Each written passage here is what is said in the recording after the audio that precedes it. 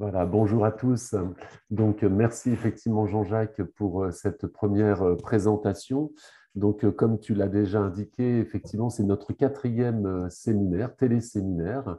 après la contextualisation, nous avons abordé les récits et les représentations d'élèves. Et le troisième séminaire avait pour thématique les langues et la formation des concepts logiques. Et aujourd'hui, eh bien, nous allons rentrer dans, une thématique euh, tout à fait euh, intéressante autour de la philosophie à l'école, thématique qui sera abordée donc par nos deux intervenants, Edwige Chirouter et Simon Després. Alors, Edwige Chirouter est professeur des universités euh, en philosophie et sciences de l'éducation à l'Université de Nantes et chercheuse donc au CREN. Elle est euh, titulaire de la chaire UNESCO euh, Pratique de la philosophie avec les enfants, une base éducative pour le dialogue interculturel et la transformation euh, sociale. Au-delà de ce titre tout à fait honorifique, j'ai eu la chance de rencontrer Edwige la première fois lors d'un colloque à Lyon il y a maintenant de nombreuses années. Et il y avait également euh, Michel Tozzi hein, qui était présent euh, lors, euh, lors de ce colloque. Et je dois bien t'avouer, Edwige, que j'avais été donc ému, un peu émerveillé, également amusé hein, par les fictions que tu avais alors mobilisées. Mais surtout, je me suis posé de nombreuses questions à l'époque et j'ai compris que j'étais finalement très étonné. Et comme l'étonnement est le commencement, bien évidemment, de la philosophie selon Aristote, ben, je me suis dit que j'étais en train de philosopher sans le savoir. C'est toujours un bonheur de le découvrir. Par la suite, j'ai pu mobiliser donc avec euh, des étudiants euh, cette thématique et je me suis rendu compte de la force hein, d'une telle approche, euh, même chez les plus jeunes, notamment pour développer une réflexion d'ordre ontologique euh, et civique également. C'est surtout sur la partie civique que moi je me suis euh, reposé. Alors son intervention euh, portera sur la fonction de la littérature dans l'apprentissage précoce de la philosophie à travers les images et le texte. Effectivement, la, la littérature de jeunesse met en œuvre des valeurs, des concepts et sollicite l'entendement des élèves en s'appuyant sur l'imagination. Elle propose, nous dit Edwige, des dilemmes, euh, les fait vivre par procuration et euh, éveille les affects tout en les plaçant à bonne distance à travers les personnages. La littérature de jeunesse, les contes, les mythes sont ainsi une médiation très féconde pour penser les grandes questions universelles et temporelles. Simon Després, euh, qui interviendra juste après, et dans la continuité de la première intervention d'Edwige, et euh, se dit-il praticien-chercheur. J'aime beaucoup cette appellation, hein, euh, je trouve ça très très intéressant. Doctorant à l'université donc de l'UPF, de l'université pardon de la Polynésie française, et il est donc professeur des écoles à Moorea. son projet de thèse s'intitule La DVP, hein, littérature polynésienne et implication parentale au cours préparatoire. Euh, dans sa présentation, il nous rappelle que des programmes euh, ajustés et dits adaptés à la Polynésie française ont été mis en place euh, dès 2020. En tant qu'enseignant, il s'inscrit dans ce cadre et en qualité de chercheur, il interroge cette reconnaissance, là aussi hein, le mot n'est pas anodin, hein, reconnaissance des pratiques dites contextualisées, plus précisément ici dans le cadre de pratiques philosophiques avec les enfants. Alors, sa communication euh, présentera une, initiation à la philosophie basée sur le socio-interactionnisme donc de Vygotsky, euh, ainsi qu'une stratégie d'enseignement dite contextuelle. Alors, je suis très heureux hein, qu'il puisse citer nos collègues de la Réunion, donc Sylvain Genevois et Nathalie Vaillant, qui sont intervenus lors du premier séminaire, mais ainsi que notre collègue Antoine Delcroix. J'espère qu'un jour il pourra intervenir euh, dans le cadre de cette sphère de partage. Donc, selon les propos de Simon, euh, l'adaptation didactique et pédagogique s'illustre par euh, l'utilisation d'albums de littérature endogène, euh, l'implication de parents d'élèves, ainsi que sur un modèle éducatif bilingue. Sa présentation porte ainsi sur une pratique philosophique en contexte post-colonial, là aussi, hein, le mot n'est pas anodin, à partir de supports littéraires en langue autochtone, lus par des parents d'élèves inscrits au cours préparatoire. Alors, je propose à Edwige de commencer sa, première intervention et, si elle le souhaite, donc de pouvoir partager son écran pour son PowerPoint. Merci beaucoup. Merci à tout le comité d'organisation de m'avoir invité euh, ce matin. Donc, j'espère que vous voyez bien. Est-ce que c'est parfait. Ça fonctionne et je le mets en mode présentateur? Voilà. Et j'ai 30 minutes maximum hein, pour ensuite 10 minutes d'échange. C'est bien ça. Normalement, j'aurais dû te dire 10 minutes parce que je sais que tu dépasses assez régulièrement. je vais vraiment essayer, promis. De toute façon, il faut m'arrêter, hein, promis. Hein. Non, non, surtout pas, surtout pas. Bon, ben, bonjour euh, à toutes euh, et, à tous. Donc, euh, je vais vous présenter une communication sur pourquoi et comment philosopher avec les enfants. Je commence avec un petit clin d'œil avec une photo qui a été prise en Nouvelle-Calédonie. je commence à être assez vieille pour me perdre dans les années. Alors, je, de mémoire, c'était en 2019. Si je regarde Sandrine Ferrière, c'est bien ça. Voilà, bon, voilà.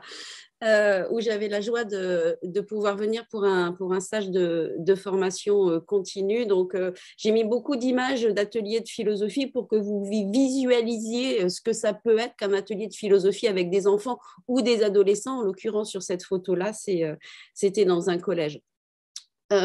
Pourquoi je, mets beaucoup de photos et pourquoi je souhaite que vous visualisiez ce à quoi peut ressembler un atelier de philosophie? Ben, D'abord parce que ce n'est pas du tout évident de philosopher avec des enfants.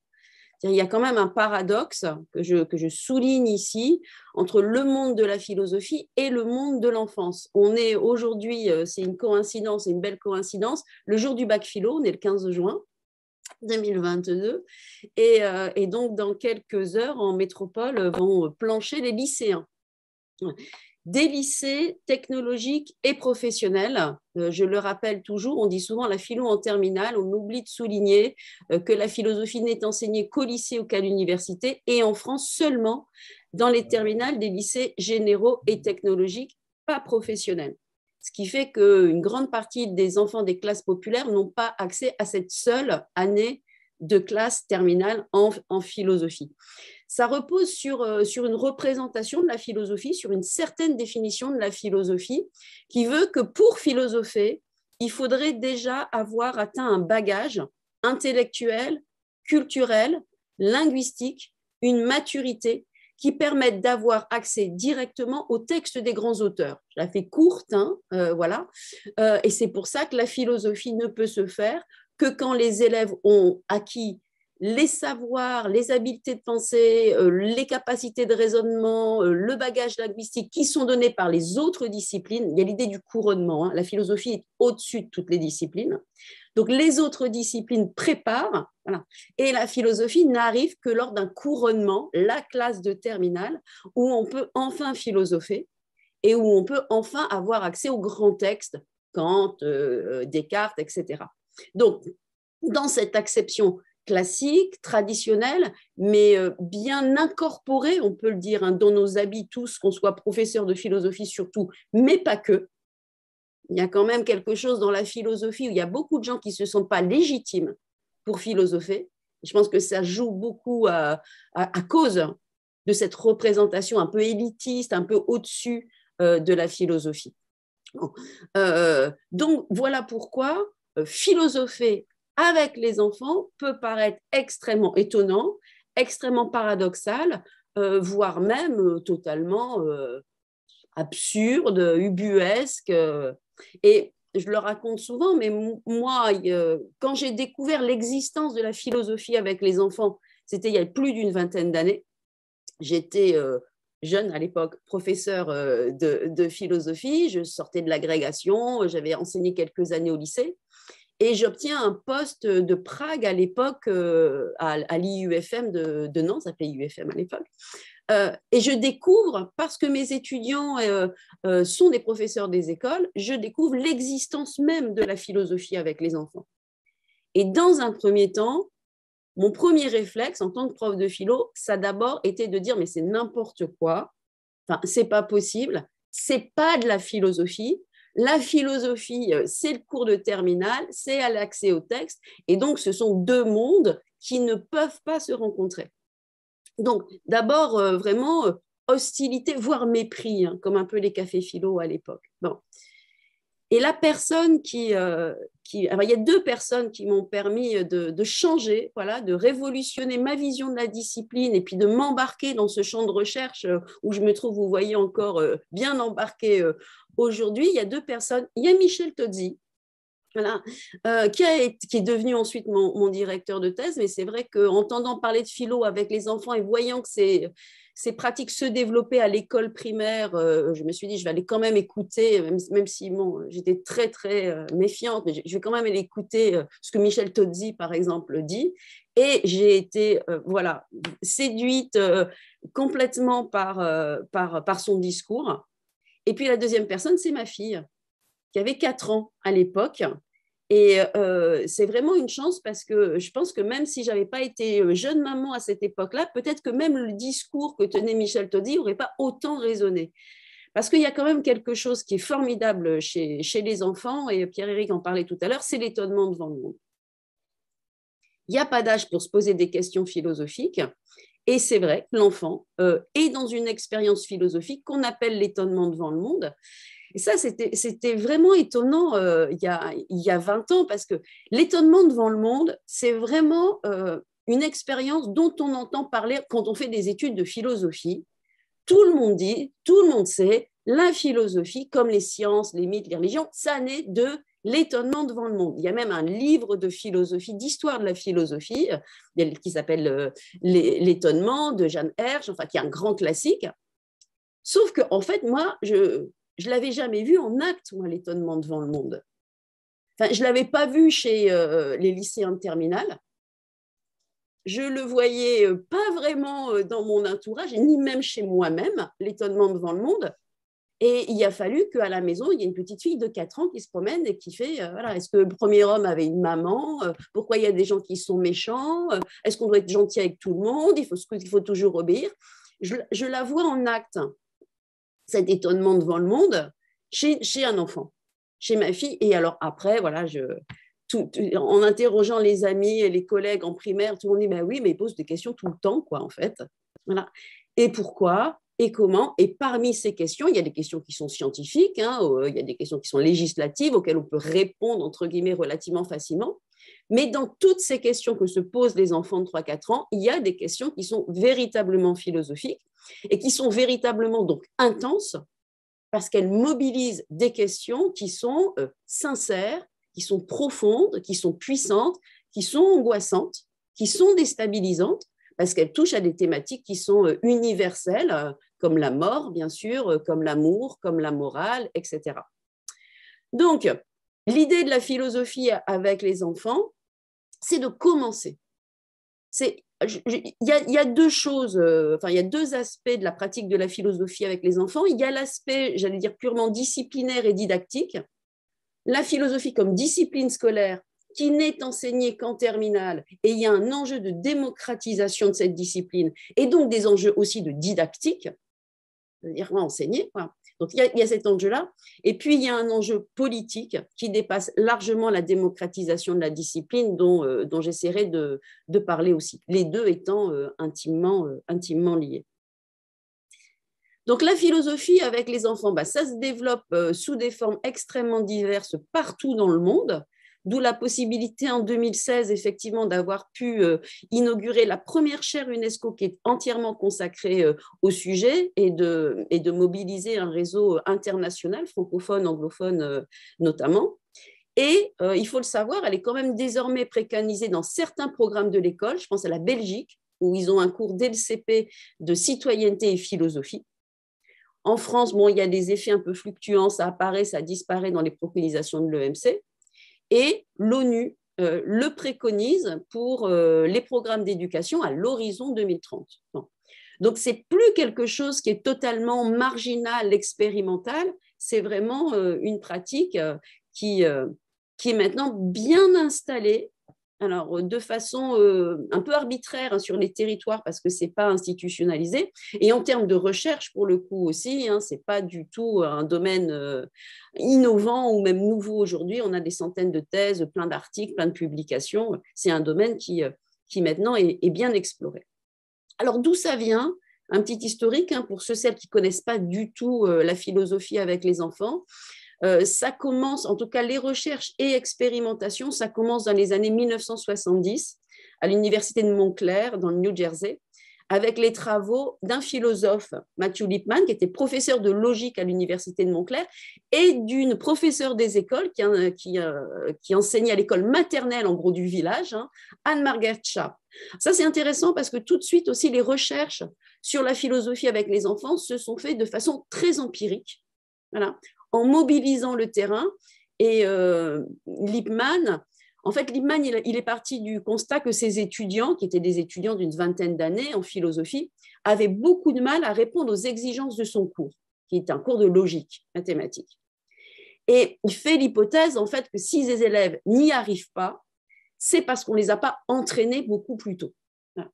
Et donc, il commence à expérimenter, euh, euh, mais, vraiment, il dit, allons, allons carrément à, l'école maternelle du village, et il trouve une Margaret Chap qui l'aide à, développer ses pratiques. Et tout de suite, donc, euh, vous voyez, la philosophie avec les enfants, c'est tout de suite une recherche qui, s'est faite de façon empirique et, qui a, et donc qui s'est aussi beaucoup développée dans le champ des sciences de l'éducation. Lippmann, c'était un disciple du philosophe John Dewey, alors Dewey, c'est un des fondateurs de ce qu'on appelle le pragmatisme en philosophie. C'est une philosophie qui se veut vraiment au service de la démocratie. Ça, c'est vraiment un objectif politique. Je parlais tout à l'heure de l'enjeu politique. Hein. John Dewey, euh, il, développe une conception de la démocratie comme un mode de vie. La démocratie, dit-il, a, trop tendance à, n'être qu'un mécanisme formel où les citoyens sont mobilisés tous les cinq ans pour le vote et ensuite on oublie ce que c'est que la démocratie. Et en fait, la démocratie, pour lui, ça devait être des habitudes de vie au quotidien, à se parler, à délibérer, à discuter les uns avec les autres.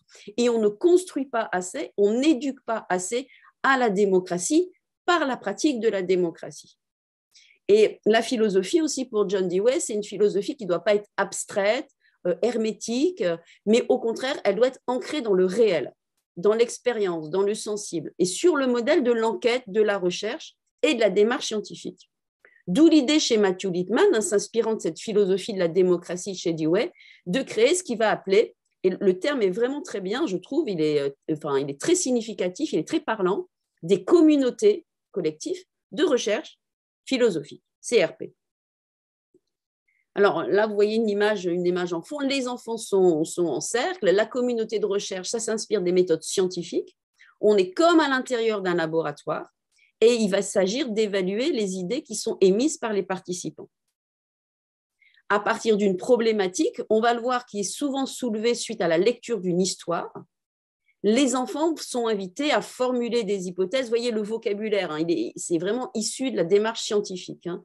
Déduire des présupposés et des conséquences, justifier leur opinion et évaluer donc collectivement la validité rationnelle et éthique des différentes propositions on est très loin dans les ateliers de philosophie d'un atelier de parole libre. Euh, on est vraiment dans un exercice de rigueur. On commence à apprendre à penser philosophiquement. Euh, il y a un effort intellectuel, il y a une rigueur intellectuelle. Michel Tozzi a dégagé trois grandes compétences qui sont en philosophie. On argumente, on problématise, on conceptualise. Et là, je vous ai mis d'autres vocabulaires. Euh, Mathieu Lippmann parle d'habileté de pensée qui constitue l'esprit critique et qui constitue euh, les capacités à philosopher. Euh, bon, j'ai plusieurs formules que j'utilise souvent. C'est c'est pas parce que ce serait facile la philosophie qu'on pourrait le faire avec les enfants. Finalement, la vie, la mort, tout le monde se pose les questions, tout le monde peut en parler. Donc les enfants, ils peuvent le faire aussi. C'est pas du tout ça. C'est parce que c'est difficile de philosopher qu'il faut commencer tôt. Euh, on lutte aussi contre le relativisme des opinions quand on philosophe. On lutte contre le tout se vaut. On lutte euh, comme une certaine forme de, paresse de la pensée. Donc, euh, je, je, mets bien ces vocabulaires-là pour montrer que l'étayage aussi de l'enseignant est extrêmement important. C'est une autre représentation que je vois euh, parfois euh, sur la philo avec les enfants, où euh, l'enseignant serait en retrait. Pas du tout pour moi. Il n'est pas du tout en retrait. Il est extrêmement présent pour étayer. Pour étayer, mais comme une forme d'animation socratique et maïotique pour permettre aux enfants, vous voyez, à formuler des hypothèses, euh, déduire des présupposés. Qu'est-ce que tu entends par là? Qu'est-ce que ça signifie? Qu'est-ce que ça présuppose? Est-ce que tu peux donner un exemple? Donner du vocabulaire aussi. Il y a un vocabulaire philosophique spécifique le légal, le légitime, par exemple, accidentel, essentiel. Donc il y a bien des objectifs en termes de développement de l'esprit critique, de la rigueur intellectuelle, mais aussi, je pourrais y revenir, en termes de contenu. Il y a des contenus de vocabulaire, il y a des contenus de distinction. Ils développent donc les enfants les enfants, ils développent donc de façon patiente. Hein. C'est vraiment aussi euh, des, une, pratique qui, a des effets à long terme, hein, comme toute pratique extrêmement ambitieuse qui vise à développer l'esprit critique comme la créativité hein, chez, chez, les enfants. Une pensée, là je reprends les termes de Lippmann, une pensée qui est donc critique, exigeante, rigoureuse, logique, argumentée, vigilante. Alors ça, c'est euh, Lippmann qui en parle, c'est que quand on pratique la philosophie, on apprend non seulement à prendre soin de ses idées, ça, c'est important. Quand on prend la parole en philosophie, on est responsable de ce qu'on dit, on va faire attention à ce qu'on dit, on réfléchit avant de se parler. Voilà. On prend soin de ce qu'on va dire, mais on prend soin aussi de ce que vont dire les autres. Voilà. En écoutant véritablement ce que l'autre a à me dire, quel est son avis, quels sont ses désaccords, et, euh, et éventuellement à changer d'avis si l'autre m'a convaincu et ou en tout cas m'a permis de, de, mieux, de, mieux, penser par moi-même grâce à, la, grâce à la pensée des autres. Et créative, on va voir, parce que dans les ateliers de philosophie, on y développe aussi beaucoup le rapport à la littérature, le rapport au récit, voire même le rapport à la créativité, parce qu'on peut mobiliser, on va le voir, non seulement la littérature, mais aussi le dessin, le théâtre, la musique. C'est une expérience, la philosophie avec les enfants. C'est vraiment les enfants vont philosopher, ils se mettent en cercle, on, débat, enfin on débat, on discute plus exactement à partir d'une question et on fait l'expérience de la pensée commune. Et c'est une pensée commune qui, qui va faire le pari de développer l'esprit critique chez chacun et chacune par la rencontre et l'intersubjectivité. Penser par soi-même, c'est jamais penser seul. On pense jamais seul l'expression penser par soi-même, hein, ce n'est pas du tout une pensée qui se, voudrait euh, justement enfermer sur elle-même. Penser par soi-même, c'est penser parce qu'on a rencontré les autres. Les autres, c'est évidemment la famille, l'environnement, les enseignants, les œuvres, les pères.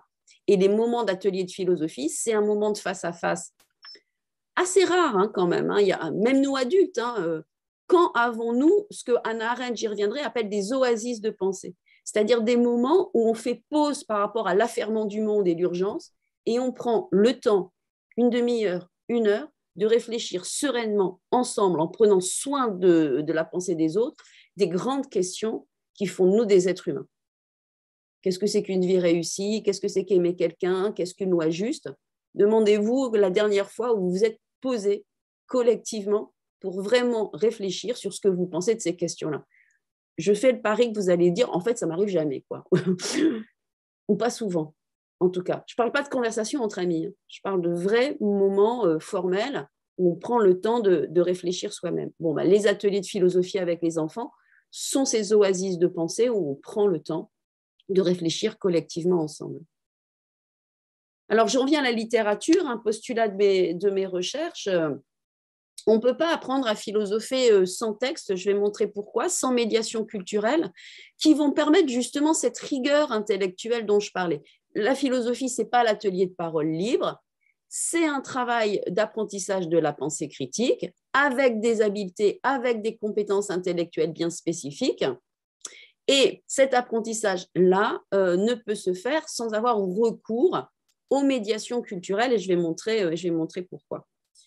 Alors évidemment, avec des jeunes enfants, hein, si on parle des enfants euh, école maternelle, élémentaire, voire même collège, les textes classiques de philosophie, Kant, Descartes, euh, Aristote, sont bien trop difficiles d'accès pour de très jeunes enfants. C'est grâce à la littérature, et j'aurais pu rajouter un lézard, le cinéma, c'est-à-dire les médiations culturelles, on peut leur permettre d'avancer dans cet apprentissage rigoureux. Il est nécessaire d'offrir aux enfants des expériences de pensée qui permettent de nourrir leur réflexion et je vais montrer quelques exemples par la littérature de jeunesse. Alors, vous le savez, je vais rappeler sur la littérature pour penser. Hein, bon, ce sont des choses que, vous, connaissez bien, donc j'essaie de synthétiser cette idée-là. C'est qu'une des fonctions essentielles des récits, c'est d'aider les êtres humains à penser le monde. Hein, on disait tout à l'heure, Pierre-Éric, les grands dilemmes qui sont soulevés par les histoires invitent à la réflexion, bouleversent les évidences et apportent de la complexité aux discussions. Je me suis beaucoup appuyée sur Paul Ricoeur hein, pour, pour ma thèse. Hein. Ricoeur dit qu'il n'y a, a, pas de civilisation sans récit. Ça a l'air consubstantiel à la condition humaine. Dès qu'il y a civilisation, il y a légende, il y a conte, il y a théâtre, il y a mythe, il y a roman, maintenant il y a série. Les hommes ont besoin de fiction. Euh, et Ricoeur dit qu'il y, a deux grandes fonctions de la fiction. Pourquoi on a autant besoin de se raconter des histoires? Je renvoie à Brunner aussi, hein, mais en fait, il y a une fonction.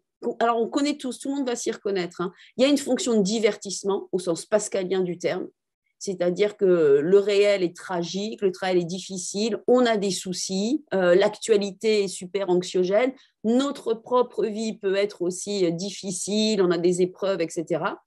Et on a besoin de s'évader du réel par la fiction. On lit un livre, on va au cinéma, on regarde une série pour oublier le réel. Et, voilà, on, veut vraiment un truc qui nous fasse pas réfléchir, qui nous fasse pas penser, on veut se vider la tête et donc s'échapper réellement du réel par la fiction. Fonction de divertissement.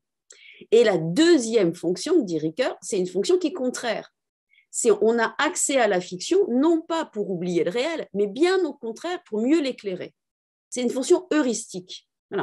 On sait qu'on choisit un livre ou on choisit un film parce qu'on sait que cette lecture-là risque de nous éclairer, risque de nous bousculer. Ça va pas forcément être très confortable, faut pas l'oublier aussi. Hein. La philosophie, c'est pas forcément très confortable, mais l'accès aussi à la littérature, au cinéma et à la fiction, c'est pas forcément très confortable. On a tous fait l'expérience, voilà, d'être bousculé par un livre, mais au sens, euh, ça, nous déstabilise. Ou un film aussi, hein.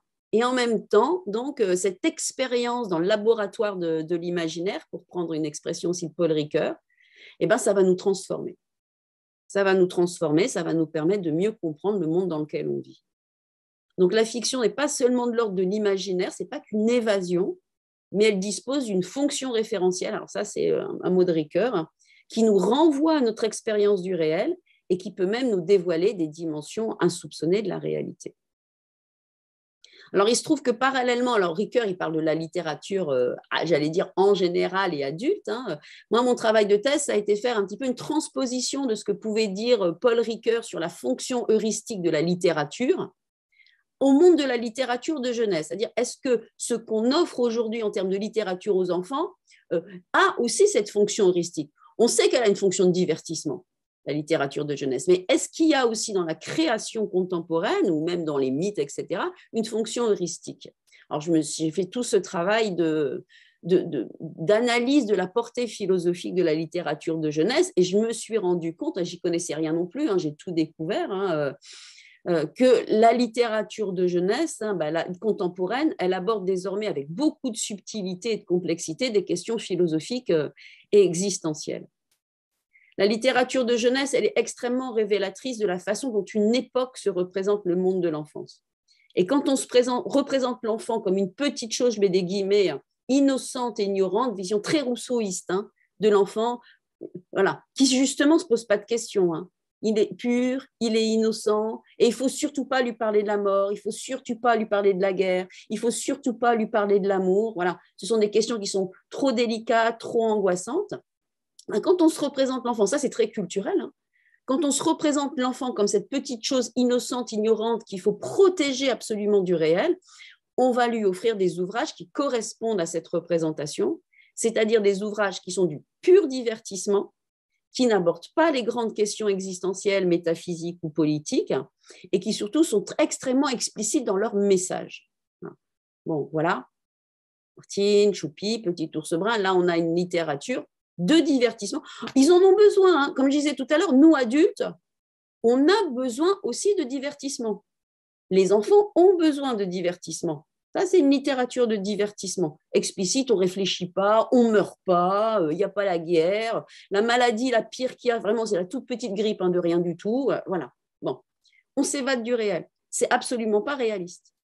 Contrairement à ce que le graphiste pourrait, le graphisme pourrait nous permettre de le penser, quoi, en fait. Hein. les enfants, si on prend la, la définition de l'enfant telle que le définit la psychanalyse, un sujet au monde qui se pose des questions et qui est très angoissé et qui a besoin d'être accompagné, euh, d'ailleurs, j'ai mis là parce que le succès de Bettelheim va vraiment vulgariser cette représentation de l'enfant comme sujet en prise avec le monde, qui se pose des grandes questions, qui n'est pas du tout une petite chose innocente et ignorante. Hein. Freud va, vraiment rompre avec Rousseau, hein. il va vraiment dénoncer la, vision rousseauiste de l'enfance comme innocence et pureté, avec une formule que vous connaissez peut-être, hein, pour Freud, l'enfant est un pervers polymorphe. Bon, mais surtout, ce qu'il veut dire par là aussi, c'est que c'est un sujet, c'est une personne. C'est pas la peine de lui cacher que la mort existe, que le mal existe, que la violence existe ou que l'amour existe. Il est un sujet au monde, il se pose ces questions-là, et comme tout sujet, il a besoin d'être accompagné. Il y, a un, objet aussi, il, y a un sujet de reconnaissance aussi. Il y a une fonction de reconnaissance dans la philo avec les enfants, mais aussi dans les livres qu'on leur donne ne pas les prendre pour des imbéciles, ne pas voler les enfants, dit Claude Ponty, par exemple, grand auteur jeunesse. Hein. Ne pas voler les enfants, c'est ne pas les prendre pour des imbéciles. Donc, dans les années 70, on a la vulgarisation à, grande échelle hein, dans les sociétés, en tout cas occidentales contemporaines, de l'enfant comme sujet, qui a besoin d'être guidé et qui est capable, alors le verbe est très important, l'enfant est capable d'interpréter euh, se sert des contes hein, et dit que l'enfant est capable d'interpréter des récits qui sont complexes. Euh, il a accès à de l'implicite, à du poétique, à du subtil.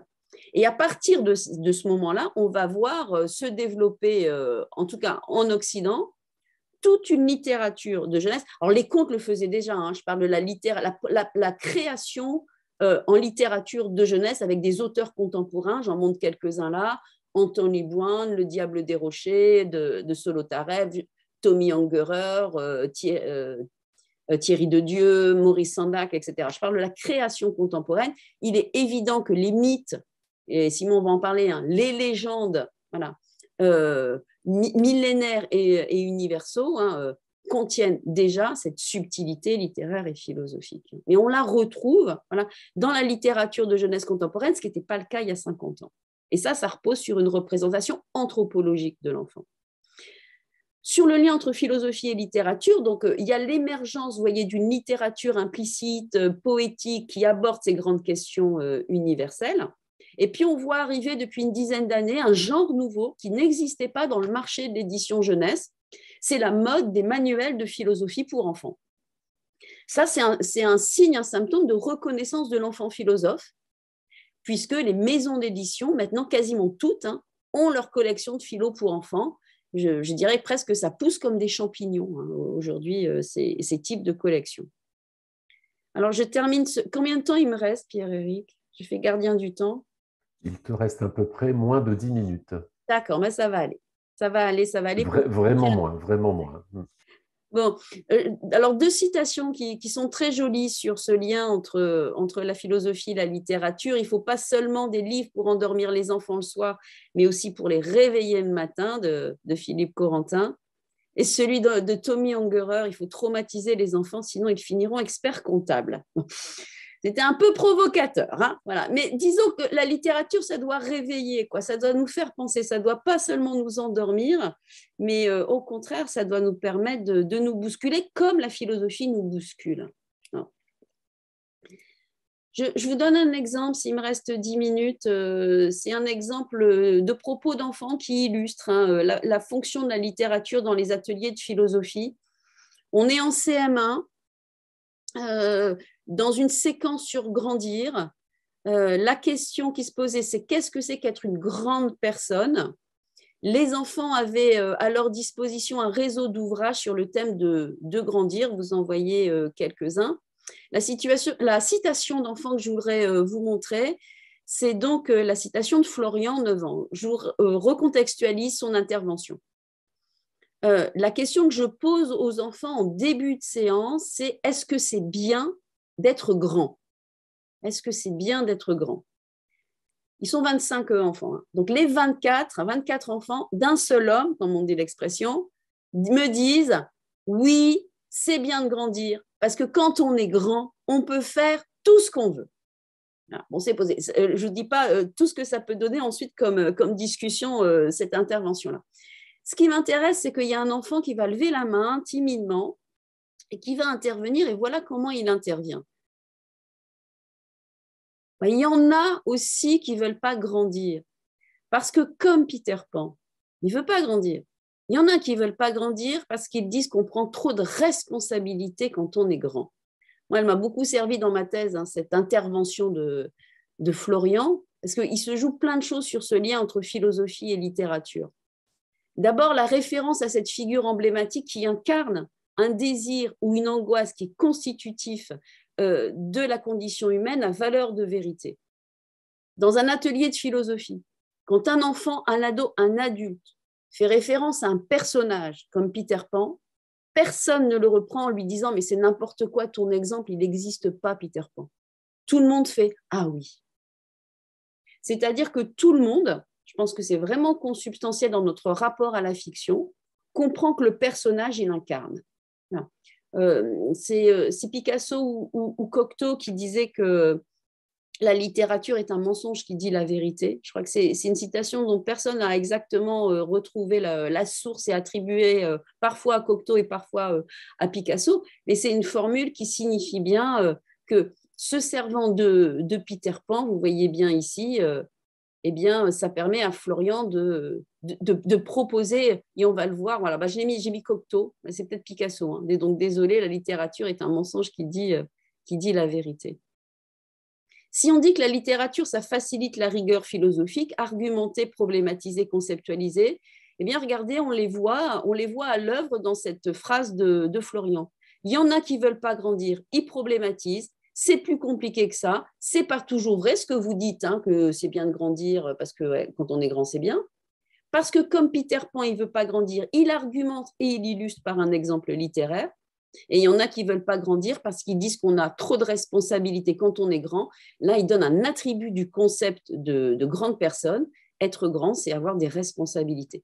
Donc les grandes compétences intellectuelles, hein, euh, la problématisation, l'argumentation, la conceptualisation, on les trouve à l'œuvre dans l'intervention de Florian, qui, euh, qui utilise, enfin qui se sert, qui, euh, qui, qui s'approprie voilà, le personnage de Peter Pan pour avancer une idée importante.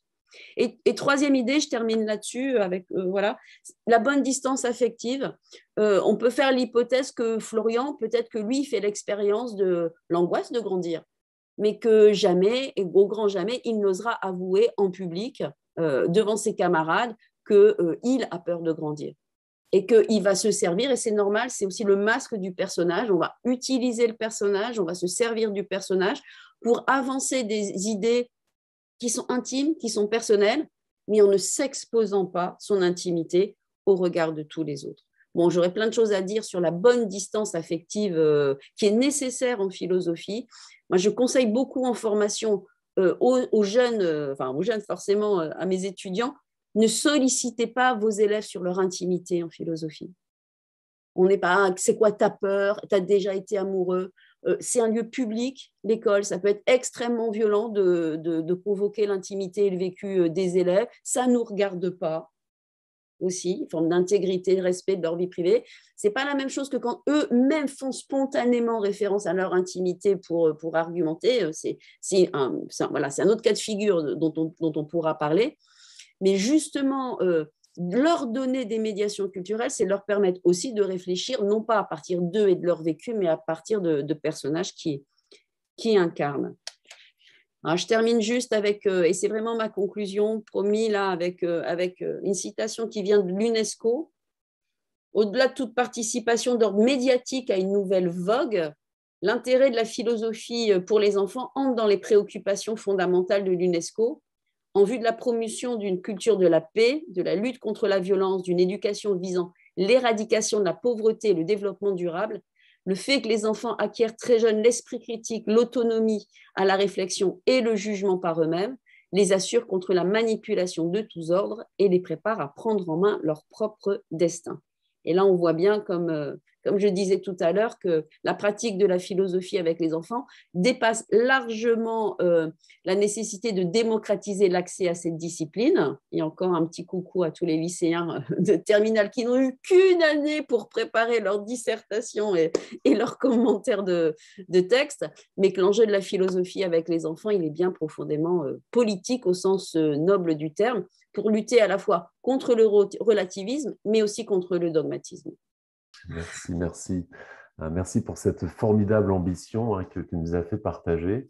Formidable ambition. Et nous allons essayer euh, maintenant de, voir si cette ambition peut servir de moteur à certaines formes de contextualisation, certaines formes d'adaptation, euh, notamment par l'utilisation de certaines fictions. Hein. Alors, ça m'a fait beaucoup plaisir que tu mobilises Paul Ricoeur. Hein, et effectivement, c'est quelqu'un euh, que je lis assez régulièrement. Et, dans mon souvenir, il parodie à un moment donné Paul Klee hein, sur, euh, sur l'art, hein, parce que tu évoquais des artistes, en disant que la fiction ne reproduit pas le, réel, mais rend réel. Et qu'effectivement, elle peut tout à fait interpeller euh, par l'utilisation notamment de, de médiation adaptée euh, certaines réalités euh, sociétales et qui concernent également euh, les élèves. Mais nous allons laisser surtout la parole donc à, notre collègue Simon. Alors bonjour à tous, je suis ravi de participer à ce séminaire pour vous exposer donc durant une trentaine de minutes une présentation intitulée Philosophie à l'école, littérature polynésienne et implication parentale. Donc, je m'appelle Simon Depré, je suis doctorant, membre associé du laboratoire euh, ISCO à l'Université de Polynésie française. Et les travaux que je vous présente euh, donc, sont co-dirigés par Mme Brodika Alinkai et M. Alain Mouniot, euh, professeur des universités.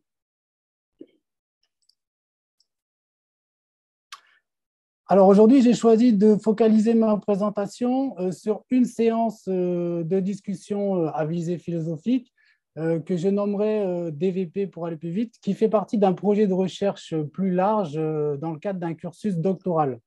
Donc la DVP portait sur la thématique philosophique du changement à partir d'un album de littérature de jeunesse qui s'intitulait Ari'i et Tepati Honu, c'est en langue tahitienne, donc ce qui veut dire Ari'i est le poisson perroquet lune, écrit par Annie Saucé et illustré par Karine Thierry en 2020.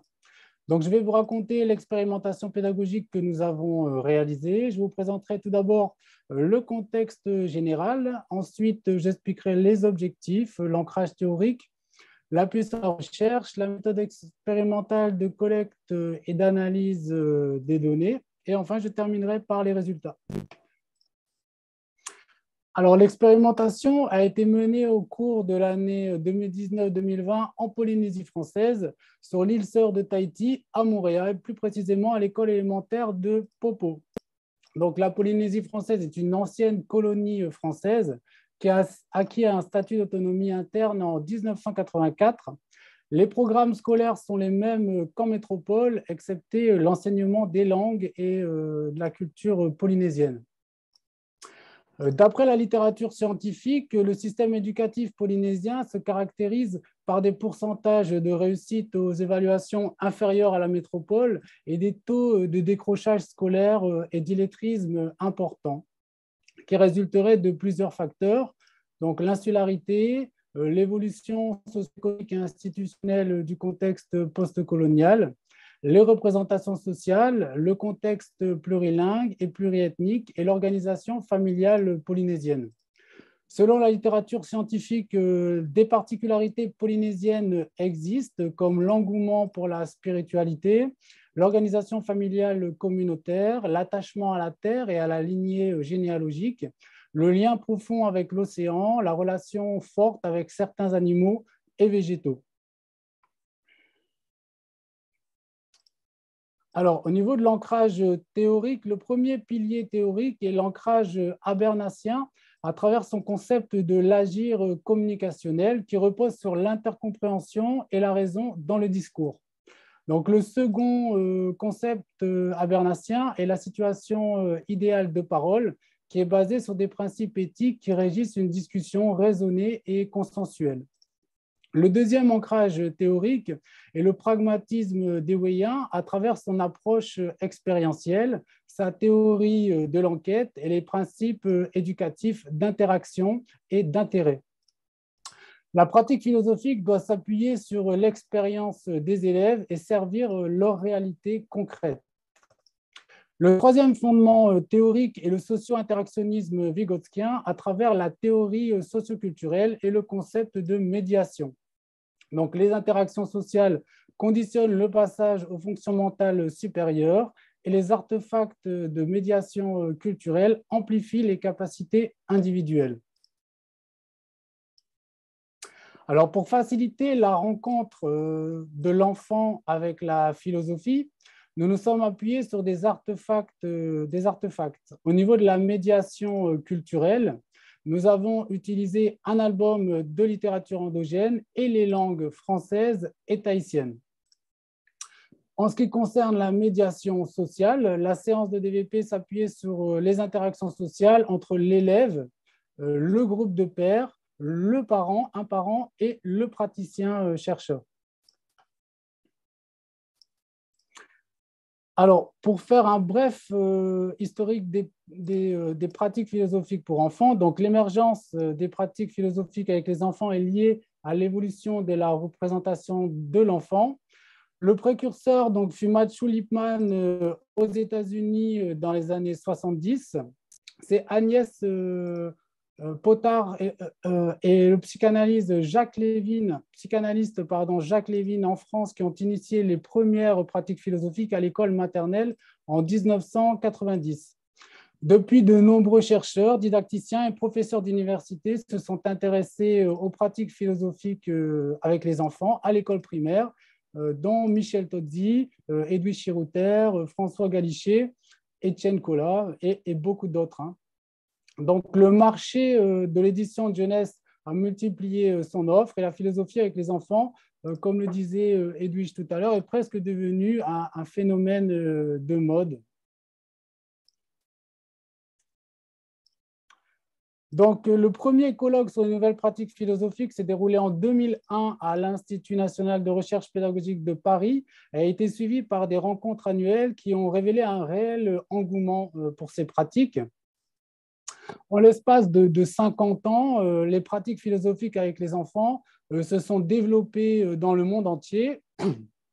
Elles se pratiquent aujourd'hui dans plus de 80 pays anglophones et francophones. Et cette expansion remarquable a entraîné une diversification des méthodes et des courants.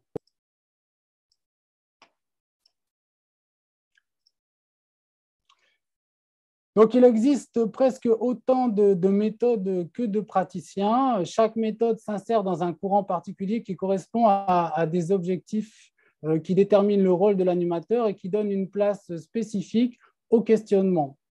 Les principales tendances donc, sont la communauté de recherche philosophique de Matthew Lipman, la discussion à visée démocratique et philosophique de Michel Tozzi, l'atelier de réflexion sur euh, l'humaine condition euh, d'Axas Lévin, la maïotique socratique de Brénifier et le dispositif de mise en réseau d'albums de littérature de jeunesse d'Edwige Chirouter.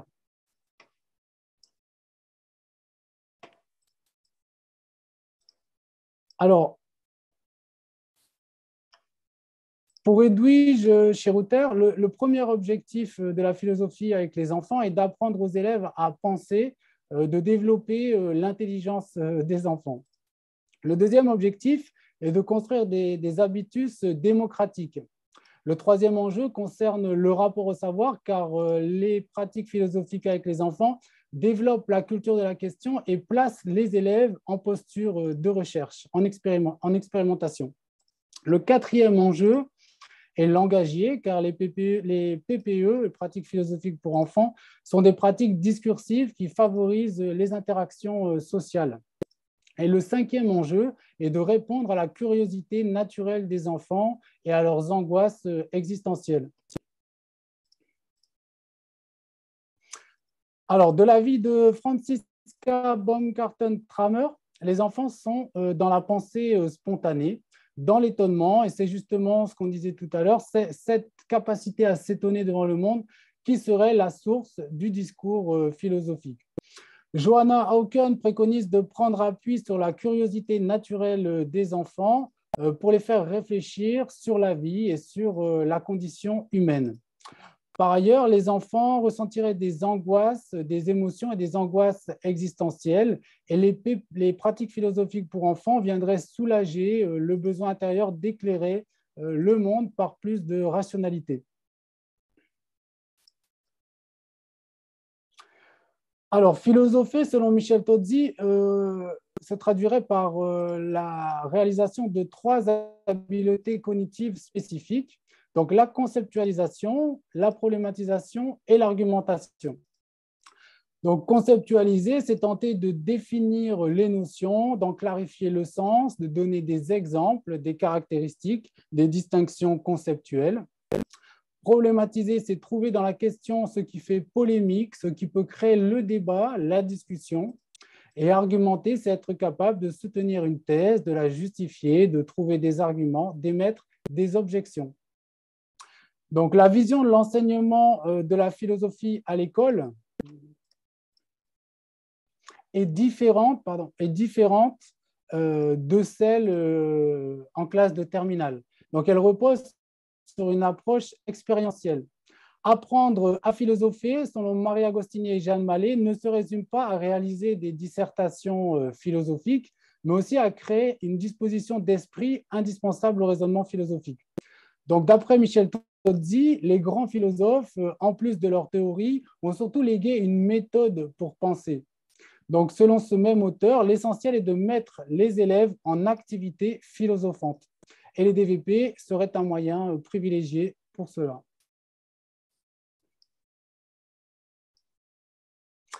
Alors, au niveau des, programmes euh, de l'école, des instructions officielles, les instructions officielles de 2020 donc qui sont toujours en application euh, actuellement, témoignent d'une reconnaissance euh, des discussions à visée philosophique et perçoivent la littérature de jeunesse comme un support euh, inducteur pertinent. Matthew Lipman, dans les années 70, crée un programme de philosophie pour les enfants basé sur une série de romans adaptés à chaque âge, servant de point de départ à des discussions philosophiques. Donc pour Jean-Charles Petier et Edwige Chirouter, on ne peut pas apprendre à penser sans texte, sans médiation culturelle qui permettent la problématisation et la mise à distance de la notion euh, travaillée. Alors, pourquoi choisir l'album, les albums de littérature de jeunesse? L'album de littérature de jeunesse cultive un rapport texte-image particulier car la narration se réalise de manière articulée entre le texte et les images. Les albums, riches en couleurs, séduisent visuellement les jeunes lecteurs et correspondent à l'univers culturel des enfants. Le rapport texte-image particulier faciliterait aussi la compréhension euh, des élèves et représenterait une plus-value pour adapter l'enseignement à la diversité des élèves. Selon Antoine de la, Galandrie, de la Garandrie, pardon, les élèves ont des profils pédagogiques et l'utilisation de la littérature de jeunesse serait une piste intéressante pour mettre en œuvre une pédagogie appropriée à la diversité du fonctionnement mental des élèves. Jean-Charles Petier et Edwige Chirouter ont réalisé une recherche à l'école maternelle. Ils ont montré qu'un album simple, adapté à l'âge et à la culture d'élèves, pouvait déboucher sur un raisonnement intellectuel de type philosophique.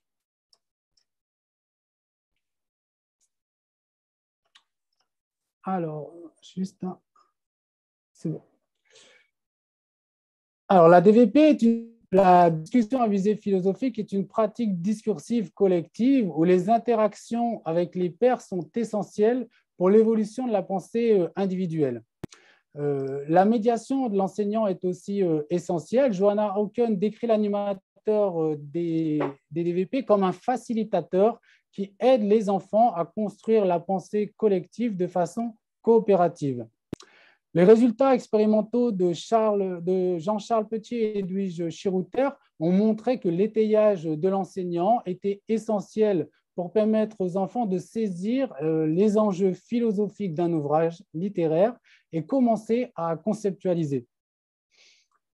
Alors, un, parent euh, volontaire et bénévole tenait dans, dans l'expérimentation un rôle actif. Il était au service du groupe et coopérait avec le professeur. Il lisait en fait l'album de littérature de jeunesse aux élèves. Nous avons utilisé ces compétences linguistiques en tahitien et l'avons positionné en médiateur entre le livre et les enfants. Selon Michel Tozzi et Marie Gilbert, le développement de la réflexion des enfants nécessite une éducation conjointe des enseignants et des parents. Ensuite, dans le contexte plurilingue des Outre-mer, euh, Isabelle Nocus, Jacques Vernodon et Miros Paya préconisent d'utiliser des textes d'identité pour stimuler l'engagement des élèves dans la lecture.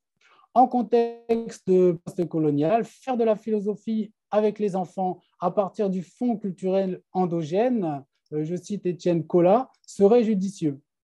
Les ateliers de philosophie euh, expérimentaux cherchaient à stimuler l'intelligence des enfants à travers une stratégie d'enseignement particulière, un modèle éducatif euh, d'éducation bilingue nommé le translanguaging, qui a été développé par Garcia. Euh, deux langues étaient utilisées dans la même situation d'enseignement. Le support littéraire et les échanges oraux lors de la discussion philosophique pouvaient être en français ou en tahitien, car l'objectif était de développer les habiletés cognitives des élèves en utilisant le langage comme un outil. Donc, à partir de ce cadre théorique et des travaux de chercheurs que je viens de vous présenter, nous avons posé la problématique suivante en quoi une initiation philosophique à partir d'albums de littérature de jeunesse polynésienne, lus par des parents d'élèves, permettrait-elle d'éveiller le raisonnement philosophique d'écoliers polynésiens euh, inscrits au cours préparatoire? Donc, pour répondre à cette problématique, nous avons formulé euh, deux hypothèses. La première hypothèse était que le corpus littéraire composé d'albums de littérature de jeunesse polynésienne donnerait du sens au DVP, aux discussions philosophiques et permettrait aux élèves de problématiser, conceptualiser et d'argumenter. Et la seconde hypothèse émise était que l'implication des parents permettrait une ouverture sur l'environnement socioculturel des élèves et participerait à l'éveil de leur raisonnement philosophique.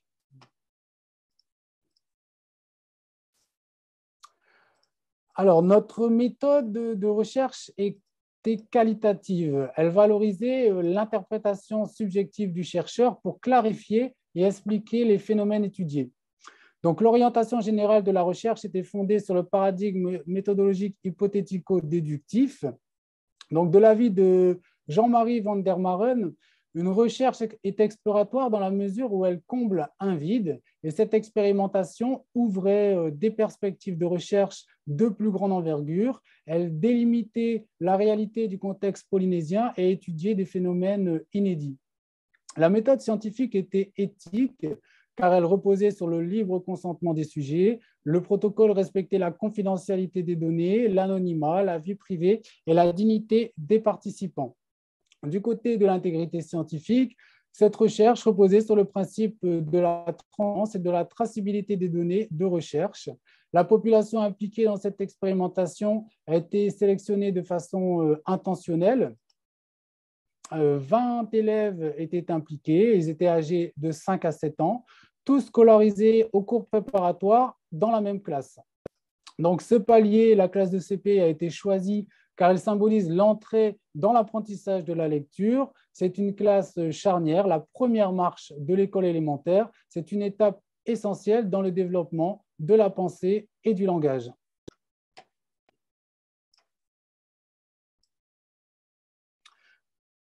Alors, différentes modalités de pratique à visée philosophique existent. Nous avons puisé des éléments dans les différentes approches. Comme dans la discussion à visée démocratique euh, et philosophique de Tozzi, donc ce qui nous intéresse, c'est les exigences intellectuelles euh, du philosophé, donc conceptualiser, problématiser et argumenter. Comme dans le dispositif d'Edoui Chirouter, notre discussion philosophique était amorcée par la lecture d'un support de médiation littéraire. Notre expérimentation mettait aussi en place un échange d'idées euh, grâce à une discussion euh, de groupe.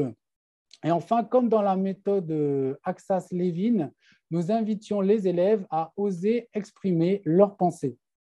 Donc, les DVP spécifiques à notre expérimentation s'inséraient dans le courant philosophique, c'est-à-dire la philosophie en tant qu'objet d'enseignement qui implique une rigueur intellectuelle. Le pédagogue insérait plutôt sa pratique dans la maïotique socratique de Brénifier, dans le sens où ses interventions étaient variées sur le fond et sur la forme. Alors, notre expérimentation mettait en œuvre une didactique contextuelle. Donc, je renvoie aux travaux de Genevois et Valiant, et aussi euh, Antoine Delcroix, donc, qui était orientée vers le contexte polynésien. Il s'agissait d'adapter l'enseignement à la culture locale pour rendre le système éducatif plus efficient et pour valoriser les spécificités culturelles polynésiennes. Les enjeux de l'adaptation didactique étaient multiples faciliter la construction euh, identitaire et l'estime de soi euh, des élèves polynésiens, permettre une meilleure inclusion d'écoliers issus de familles peu connivantes avec la culture scolaire, favoriser les apprentissages et en particulier celui de la langue française euh, qui est la langue de scolarisation, et enfin utiliser les compétences plurilingues des élèves comme un levier pour développer leurs habiletés intellectuelles et langagières.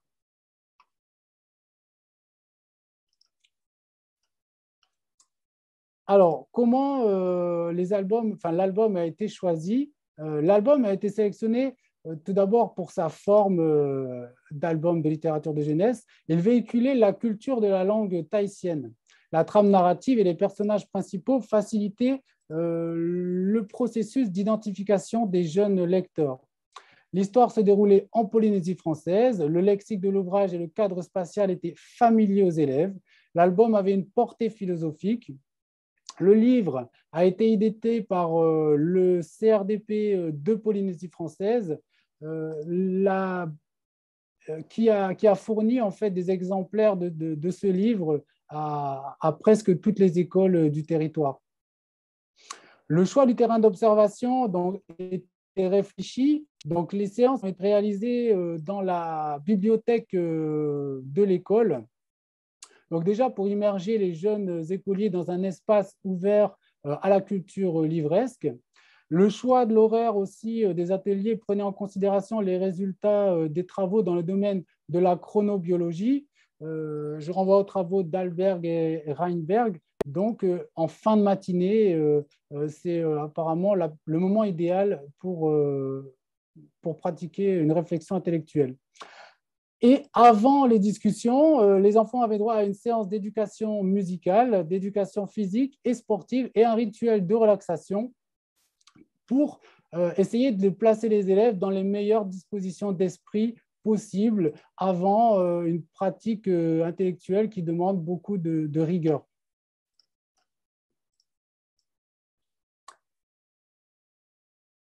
Alors, lors des discussions à visée philosophique, le premier instrument pour recueillir les données était l'observation en situation.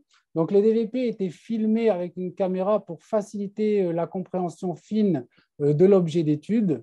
La passation des entretiens euh, semi-directifs avec les parents était facilité par une grille qui permettait de questionner euh, les pratiques langagières familiales, les habitudes de communication, les pratiques littéraires, les habitudes livresques, le lien école-famille, le partenariat entre parents et enseignants, et enfin les habitudes de communication et de réflexion au sein des familles. Les films euh, des discussions euh, philosophiques étaient enregistrés par tablette et ordinateur, puis transcrits grâce à un code adapté. Donc la retranscription des entretiens euh, a été des entretiens semi-directifs, a par contre été réalisée par une agence qui s'appelle Sheva Transcription. Donc ils étaient transcrits de façon sociologique, c'est-à-dire une transcription exacte du langage des personnes interrogées. Alors, l'album de littérature qui permettait euh, d'amorcer la discussion philosophique a été analysé euh, selon plusieurs critères. Premièrement, l'examen portait sur le reflet effectif de spécificité polynésienne. Le deuxième angle d'analyse concernait la portée philosophique de l'ouvrage. la troisième dynamique d'analyse se rapportait à l'appui des élèves sur l'album pour étayer leurs propos lors des DVP.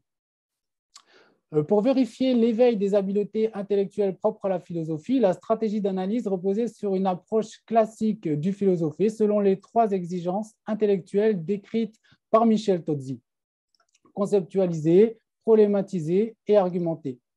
Donc, pour vérifier que les euh, discussions euh, réputées philosophiques présentaient vraiment cette dimension, nous avons constitué un corpus des échanges oraux entre les participants afin d'analyser l'éventualité de propos proprement philosophiques, c'est-à-dire répondant aux trois conditions de base, euh, les, trois, les trois compétences problématiser, conceptualiser et argumenter. En ce qui concerne les DVP, le logiciel, en ce qui concerne les discussions, un logiciel euh, qui s'appelle Iramutech a permis aussi une approche lexicométrique euh, du corpus des données. Donc, à partir de la transcription et aussi à partir de la transcription pardon, des entretiens semi-directifs, l'analyse qui a été réalisée à travers le logiciel MaxQDA se décomposait en deux étapes. Premièrement, il s'agissait de coder, de connecter des mots-clés spécifiques aux réponses des parents et d'identifier les différents sujets traités. Le deuxième temps permettait l'analyse des codes appliqués pour déterminer le, positionnement des parents repérés à travers leur discours.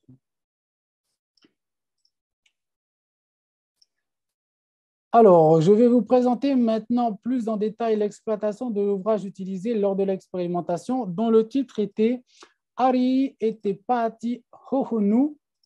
Donc, pour résumer brièvement, le personnage principal est un petit garçon nommé Ari. Il s'amuse à se déguiser en poisson euh, perroquet lune. Il se prend tellement en jeu qu'il finit par s'oublier lui-même et se jette à l'eau en risquant de se noyer. Fort heureusement, il est sauvé de justesse par son père qui pêche sur le ponton. L'histoire euh, se trame dans un contexte et une ambiance polynésienne qui correspond à la philosophie ilienne. Cet ouvrage est truffé de clins d'œil culturels. Le personnage principal est un petit garçon polynésien euh, qui porte un short au motif euh, floral en forme d'hibiscus. Sa mère porte une robe traditionnelle et sa chevelure est ornée d'une fleur de tiare euh, qui est l'emblème, euh, le symbole de Tahiti. Elle prépare euh, du poisson cru au lait de coco, qui est un mets culinaire typique. Les lieux et les objets de l'histoire ont aussi une connotation culturelle. La maison est située côté mer. Le père pêche sur un ponton de bois jouxtant le domicile qui possède un jardin luxuriant. Le choix du déguisement du petit garçon n'est pas anodin. Son costume rappelle l'élément naturel de l'eau. Il faut savoir qu'en Polynésie, la mer a une forte symbolique. Elle fait partie intégrante de l'identité des habitants. Donc, selon Leloup, cette aspiration à affronter le milieu incertain et redoutable de l'océan doit s'interpréter comme une réelle dynamique identitaire. C'est une recherche allégorique vers Hawaii, l'île mythique des récits légendaires, identifiée comme la terre initiale des Polynésiens le territoire des dieux, accueillant, accueillant l'âme des personnes décédées. D'un point de vue philosophique, l'interprétation de cet ouvrage permettait d'aborder le concept de la perfectibilité humaine, de ce qui relève du domaine du possible ou de l'impossible. En effet, un être humain peut toujours changer en augmentant ses capacités intellectuelles, physiques ou psychologiques, mais il est limité par sa condition humaine. L'humanité a toujours rêvé d'améliorer sa vie, de ralentir son vieillissement, euh, d'augmenter ses capacités, de changer d'apparence, d'être doté de nouveaux pouvoirs. Euh, ces fantasmes transcendent l'imagination, les œuvres cinématographiques, de science-fiction ou littéraires. Donc la question de l'évolution de l'humanité soulève des questions éthiques, elle questionne l'usage du progrès technique des découvertes euh, en médecine. Alors, dans un premier temps, euh, donc maintenant, on va, s'arrêter sur les, propos euh, des élèves lors de la discussion. On va essayer d'analyser le, contenu de la discussion. Donc, dans un premier temps, en ce qui concerne l'habileté intellectuelle de conceptualisation, et fidèlement aux propos des élèves, se transformer consisterait à changer d'apparence par l'usage d'artifices extérieurs, c'est-à-dire à se déguiser. D'après les travaux, de Russell-Belk, le déguisement a une fonction cathartique, c'est-à-dire un rôle libérateur, dans le sens où il permet à l'enfant de se libérer de ses pulsions. Le choix du déguisement euh, euh, serait symbolique et dévoilerait un aspect de la personnalité des sujets qui se déguisent. Durant la DVP, certains enfants ont dit qu'ils faudrait se déguiser en fantôme. Ces propos illustreraient le besoin d'exorciser leurs peurs pour mieux les maîtriser et apprendre à gérer leurs émotions. Il en est de même quand certains élèves expriment à leur tour le désir de se transformer en militaire pour tuer euh, des êtres humains ou en loup pour chasser. Le déguisement ouvrirait de nouvelles perspectives euh, identitaires. Il permettrait l'amélioration de la personnalité et, les jeux de rôle. Après avoir utilisé l'album comme un tremplin réflexif, les élèves passent par une phase d'énumération, c'est-à-dire qu'ils ont cité des exemples illustrés de caractéristiques qui laissent percevoir leur conception de la transformation. Un élève euh, a choisi, choisirait de se transformer en animal fantastique imaginaire. Un autre euh, établit un parallèle entre la transformation et l'évolution euh, professionnelle. Par ailleurs, certains élèves expriment le désir de changer d'apparence en se transformant en robot. Selon les dires de plusieurs écolières, le changement ultime semble être celui de se transformer en princesse, ce qui peut s'interpréter par une quête identitaire, mais qui pose aussi certaines interrogations par rapport aux stéréotypes de genre.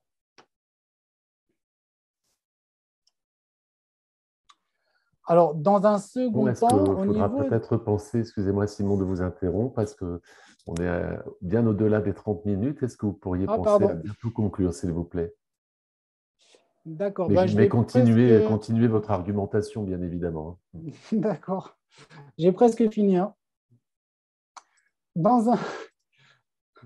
Donc, j'étais à la problématisation. Donc, dans le secondaire, au niveau de l'habileté intellectuelle de problématisation, les enfants, euh, les propos des élèves questionnaient la psychologie humaine, soulevaient implicitement le sujet polémique du choix entre la sagesse et la soumission à ces pulsions de domination. Les paroles des enfants semblaient exprimer une volonté de puissance, le désir de se transformer en de multiples prédateurs, donc, de l'avis de, de, Sigmund Freud, la guerre, les conflits et les meurtres sont à l'origine des sociétés et occupent une place essentielle dans la psychologie des êtres humains.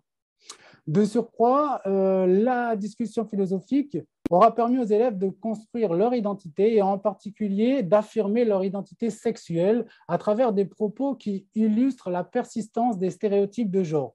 Deux filles expriment le souhait de se transformer en princesse.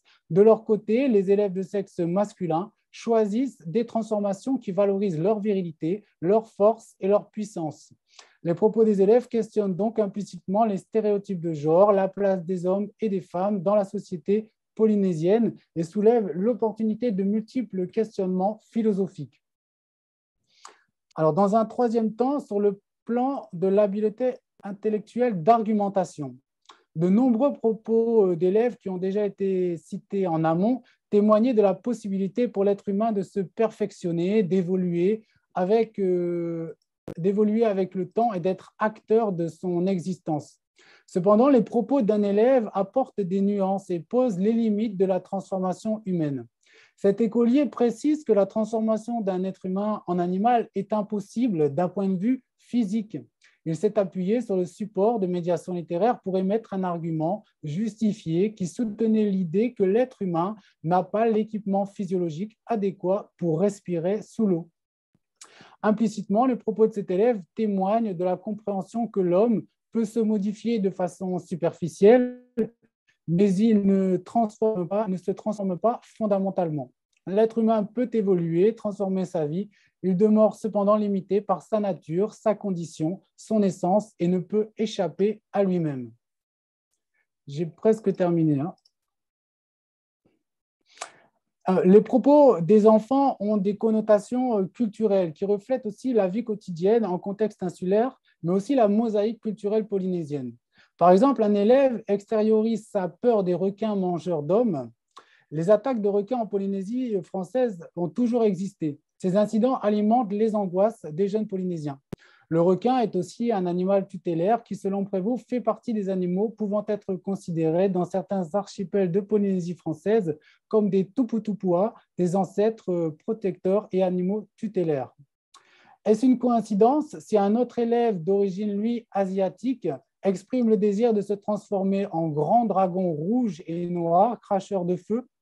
Nous sommes amenés à penser que son désir de transformation en dragon n'est sûrement pas anodin, dans la culture chinoise antique, le dragon était le plus illustre des animaux, le plus mystérieux aussi. Il était sacré et symbolisait la souveraineté. Le père de cet élève a d'ailleurs un grand dragon euh, tatoué sur toute la surface de son dos. Euh, les résultats sur le plan linguistique, l'analyse des entretiens et de l'implication parentale feront l'objet d'une communication euh, ultérieure, étant donné le temps qu'il me reste. Euh, je vous remercie euh, de m'avoir euh, écouté. Maruru. Merci infiniment, Simon. Je suis vraiment désolé peut-être d'avoir un peu perturbé la fin de votre argumentation, mais je crois que ça a été extrêmement clair hein, et que nous avons véritablement compris le déroulé extrêmement précis depuis l'approche théorique jusqu'à la mise en place et l'application effectivement de votre recherche. Avant de donner la parole euh, aux collègues, qui ont déjà noté d'ailleurs un certain nombre de questions euh, euh, sur le chat, hein, comme vous pouvez le voir, je tenais, c'était pour Simon, à, évoquer une expérience, une lecture que j'avais pu établir à la fin des années 1980 en géographie, qui était menée par un chercheur dont j'ai oublié le nom, et qui travaillait sur des histoires de grandeur et de distance entre la Polynésie et la France. Et à un moment donné, donc, il posait des questions extrêmement classiques. Euh, est-ce que euh, la France est beaucoup plus grande ou plus petite que la Polynésie ou inversement, etc.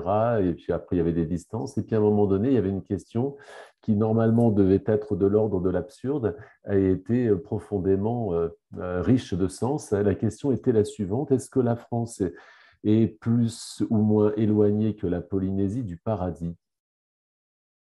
Et euh, la question, en fait, avait fait émerger tout un ensemble de réponses qui étaient tout à fait signifiantes, puisque effectivement, ça renvoyait à, tout un univers autour de la mythologie, euh, effectivement polynésienne. Et c'est, je crois, à partir de ce moment-là que j'ai eu un certain goût pour cette idée de contextualisation des apprentissages.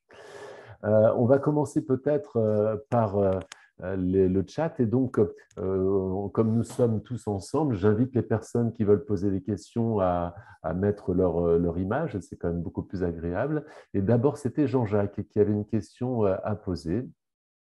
Donc, je laisse la parole à Jean-Jacques. Peut-être pas relire ce que tu as noté, hein, mais peut-être préciser peut-être ce que tu voulais dire. Ok, merci Pierrick. bon, merci Simon et Edwige. C'est toujours aussi passionnant et, surprenant euh, cette entrée philosophique à l'école. Merci beaucoup. Donc, dans une des conférences que, euh, dans laquelle j'ai assisté quand vous êtes venu à Mayotte, euh, on avait abordé la question des sujets, que des thèmes que l'on peut aborder dans ces débats philosophiques. Et vous aviez attiré notre attention sur le fait que certains sujets ne s'y prêtent pas. Et on avait parlé en particulier de la question de l'égalité filles-garçons versus la question des stéréotypes de genre. Donc, euh, est-ce que vous pourriez nous en dire un peu plus sur ces thématiques propices ou pas ou non euh, au débat philosophique? Merci. Je vais bien commencer. Euh, oui, je. Alors, un, philosophe, voilà, un philosophe, vous direz il n'y a pas de questions philosophiques, il y a des traitements philosophiques des questions voyez, voilà, il n'y a pas d'objet philosophique, il y a un traitement philosophique des objets. Le philosophe peut vous faire de la, philosophie sur euh, même un objet, une chaise, tout ce que vous voulez, il peut le transformer en objet philosophique. Quand on n'est pas philosophe de formation, le traitement philosophique de n'importe quel objet est beaucoup plus difficile. Or, il y a des sujets qui sont très compliqués à problématiser philosophiquement et notamment à l'école. Et je pense à garçon-fille dans le cadre de l'enseignement moral et civique. Il faut distinguer, à mon, avis, hein, euh, de toute façon c'est institutionnalisé comme ça, hein, il y a à la fois des valeurs à transmettre, une vision du monde à transmettre, qui est celle en gros de l'humanisme républicain, euh, l'égalité entre les garçons et les filles, les valeurs de tolérance, de respect, de non-violence, etc. Donc c'est une certaine vision du monde que l'école a à transmettre. C'est extrêmement difficile de venir en philosophie, c'est de remettre en question ça. La philosophie, elle, questionne. Hein. Est-ce que c'est toujours vrai? À quelles conditions c'est vrai? Est-ce que ça pourrait ne pas être vrai? Je pense qu'avec les enfants, il faut distinguer des moments d'éducation A, où on transmet de façon explicite une certaine vision du monde, qui est celle de l'humanisme, et des moments de philosophie où on va travailler sur des objets comme l'art et le beau, comme le bonheur, comme la liberté, où on va développer l'esprit critique chez les enfants. Euh, vous voyez ce que je veux dire, c'est que c'est très difficile de problématiser à l'école sur des valeurs qu'on a par ailleurs à leur transmettre. Et euh, si la philosophie, c'est une activité qui est vraiment radicale, où on va jusqu'au bout de la problématisation, les conditions de possibilité, voire les limites du discours qu'on peut tenir par ailleurs, il y a des sujets qui sont très délicats à manier. Je ne dis pas qu'on ne peut pas le faire en philosophie. Mais par exemple, en philosophie, garçon-fille, on va l'attaquer plutôt sous l'angle nature-culture, pas sous l'angle des droits, pas sous l'angle de l'égalité, qui est quelque chose qu'on a à transmettre. Voilà. Par contre, est-ce qu'on est femme ou est-ce qu'on devient? Là, c'est une question philosophique. Mais vous voyez que quand on n'est pas philosophe de formation, c'est-à-dire souvent quand on débute dans l'animation des, euh, des, ateliers de philosophie à l'école, moi, je conseille à mes étudiants, te, que des filles, de ne pas commencer les ateliers philo sur la différence, sur garçon-fille, sur la moquerie, euh, ou même sur la violence, ou sur la nature, parce qu'elles risquent, ou ils risquent, d'être trop euh, orientants sur ce qu'il faut penser, sur le message qu'ils vont devoir passer. On ne fait pas passer de message particulier en philosophie. On problématise une question universelle, non scientifique, etc. Et, bon, vous voyez que là, il y, a une frontière là ici. Et c'est pour ça que je dis, garçon-fille, le faites pas, ou faites-le quand vous serez bien habitué à ce que c'est que la philosophie et au traitement philosophique de cet objet-là sais pas si je suis claire. Mais... Je pense que oui, hein, mais ça reprend. Je vais rebondir un peu sur la question de Jean-Jacques et ça va finalement euh, introduire la question de Nour juste après. Tu évoquais euh, l'idée de traitement philosophique, donc j'imagine des outils pour pouvoir traiter philosophiquement un certain nombre de questions et notamment sur la prise de parole qui parfois n'est pas évidente en fonction des contextes, hein, notamment à Mayotte, si on devait reprendre le questionnement de Jean-Jacques, où les enfants n'ont pas forcément l'habitude, effectivement, mmh. de se mettre en scène et de prendre la parole et donc de pouvoir traiter philosophiquement. Mais je crois que ça reprend un petit peu aussi la question de Nour. Je lui laisse donc la parole. En fait, euh, moi, je me rends compte, alors moi, j'ai surtout enseigné au lycée, euh, mais euh, les problématiques sont un petit peu parallèles dans le sens où les adolescents peuvent être aussi fragiles et ont aussi des questionnements particuliers. Donc, moi, la question de la juste distance m'a euh, vraiment intéressée. Et je me, rends compte que, euh, au fur et à mesure de ma pratique, en fait, il y a des questions que je me suis mise à éviter d'aborder, euh, justement parce que on peut se heurter au réel et on peut, en fait, être confronté parfois à des résistances mmh. des élèves et on ne sait pas forcément comment désamorcer. Alors, je vais partir d'un cas un peu particulier, puis je vais poser ma question. Euh, j'ai jamais vraiment digéré ce moment où j'ai eu l'impression de perdre un élève euh, parce qu'on travaillait sur euh, le, déisme et qu'on abordait Voltaire et qu'il avait été particulièrement ulcéré par les, propos parce que lui-même était dans une, dans une religion particulière avec peut-être en dehors de, de l'école un certain type de discours et il y avait euh, et euh, j'ai pas réussi vraiment euh, à, mettre cette juste distance ou, à désamorcer la situation et à faire comprendre en fait que ben on était dans un dialogue, dans une discussion, dans une confrontation de points de vue et que telle est, est, la, la, la, problématique qui est proposée par tel ou tel texte, mais que c'est on, est libre en fait de, de, ses propos, de, de, ses choix, etc. Donc moi en fait ma question c'est quand, on rencontre des résistances comme ça, parce que les questions qu'on aborde finalement elles touchent de manière un petit peu plus profonde que juste euh, dans un terme de débat d'idées un peu abstrait, euh, et qu'on n'arrive pas à mettre en place cette distance, euh, comment on peut faire pour désamorcer Est-ce que vous avez déjà été confronté à, des cas de ce type? Mmh. Euh, les deux questions sont vraiment super parce qu'elles montrent les deux risques de, dérive des ateliers philo. Hein. Je pointe toujours, c'est soit euh, on dit que c'est un atelier philo, puis en fait c'est une leçon de morale déguisée. Tu vois, par exemple sur l'égalité garçon-fille, on fait finalement on fait passer un message et c'est pas ça la philosophie. Euh, soit c'est un petit peu le, groupe de parole libre, je dis pas du tout que c'est par rapport à ton exemple, hein, tu, dis ça, mais où on libère la parole, on voudrait libérer la parole, où les enfants auraient enfin un moment pour s'exprimer. Et le moment de la philosophie, ce n'est pas un moment de libération de la parole, c'est un moment de pensée. Et d'où la nécessité effectivement d'avoir des médiations culturelles qui permettent l'intimité, le vécu et les affects un peu à distance pour pouvoir penser sereinement. Euh, euh, ce, que tu pointes là, c'est euh, quand justement ben, cette bonne distance, elle n'existe pas. Quoi. on est trop submergé par l'émotion, ou les enfants sont en conflit d'intérêts aussi avec les familles. Et je dirais que là, la réponse, elle est systémique. Hein. c'est euh, c'est vraiment commencer le plus tôt possible à prendre l'habitude d'accepter à être bouleversé. Euh, euh, Mathieu Lippmann appelle ça la, la, faillabilité. Moi, j'appelle ça la vulnérabilité.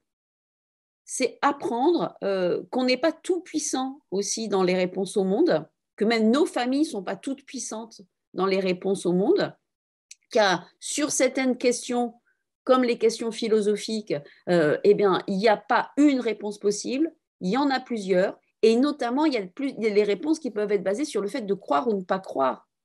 Hein, le, fait d'appartenir ou pas à telle ou telle religion modèle bien évidemment la façon dont on va répondre à la question du bonheur, à la question de la morale ou à la question de, l'existence.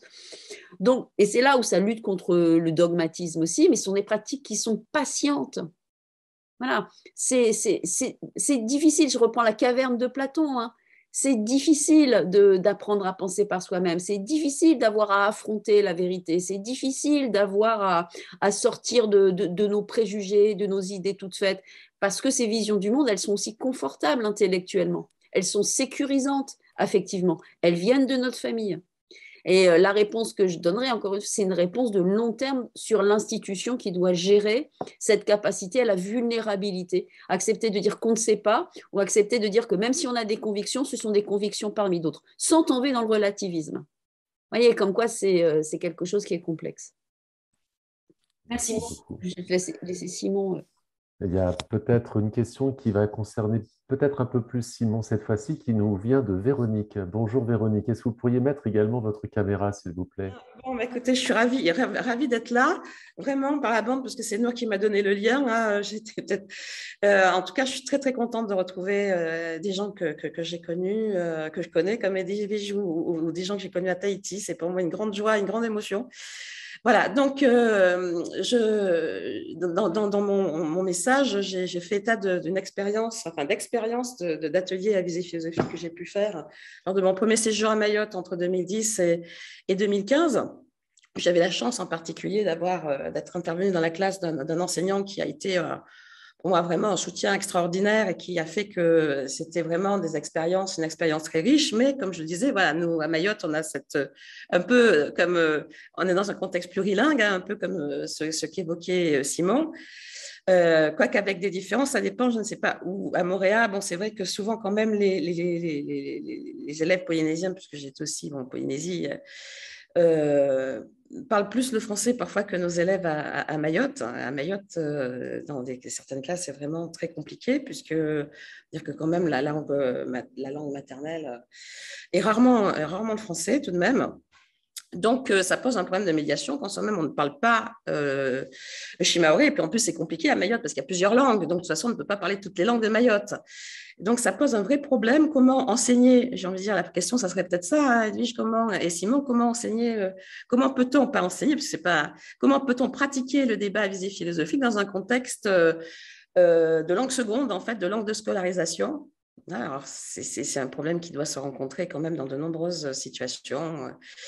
Et la deuxième question, c'est, je me souviens qu'un des problèmes que j'avais avec, avec, avec les élèves quand je faisais des débats visée philosophique, mais ça, à mon avis, c'est pas un problème contextualisé, je pense que c'est un problème plus général, cette, cette tendance que les élèves ont évidemment à, s'engluer dans des cas particuliers et comment les amener plus facilement vers la généralisation. C'est vrai que moi, j'utilisais la méthode plutôt de François Galichet, donc avec un questionnement sans nécessairement de médiation.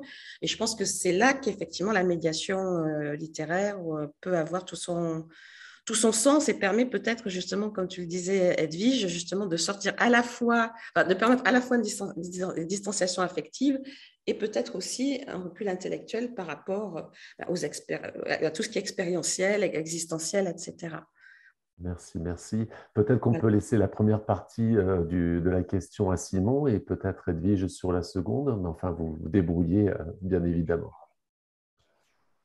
Alors, si j'ai bien compris la question, c'était un peu comment euh, pratiquer la philosophie en contexte plurilingue, c'est ça hein? Non seulement en contexte plurilingue, parce qu'en contexte plurilingue, oui, mais euh, contexte oui, en contexte plurilingue, et quand le français, je rajouterais, quand le français naît et est d'abord essentiellement une langue, euh, une langue de scolarisation. Je pense qu'il faut sortir d'une vision qui cloisonne en fait les différentes langues.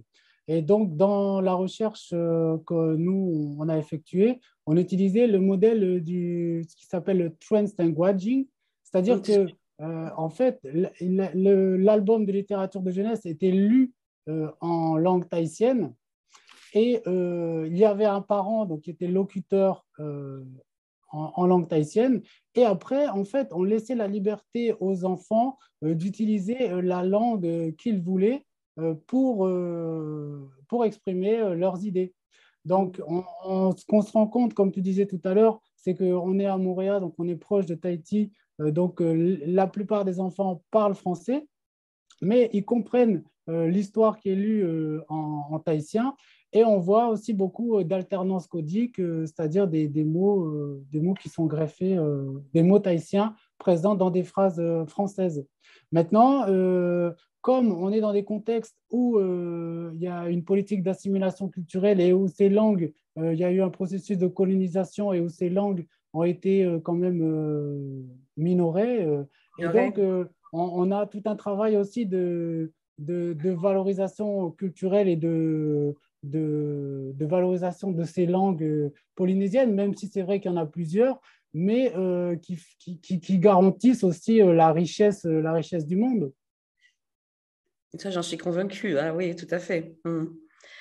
Après, euh, par, rapport à s'engluer dans des cas euh, particuliers, eh ben, juste, euh, juste par rapport justement à, à l'ancrage théorique et, et les concepts de John Dewey, Dewey en fait, il dit que justement, il faut s'appuyer sur, ces, sur, sur les expériences concrètes des élèves pour après euh, les, ouvrir aussi, euh, ouvrir le débat vers l'universel, mais euh, ce n'est pas forcément grave que les enfants commencent à, citer des exemples, parce qu'en fait, ils citent des exemples parce que c'est leur vie, c'est ce qui les touche, et l'enseignement, pour que la philosophie, elle ait du sens et, et qu'ils soient intéressés, ben, donc c'est déjà, s'ils posent, si déjà ils citent des cas particuliers, c'est que déjà, ils sont quand même intéressés par la question, et après, c'est justement tout l'étayage de l'enseignant qui, qui va devoir, euh, un peu comme un équilibriste, réussir à les guider euh, d'une certaine manière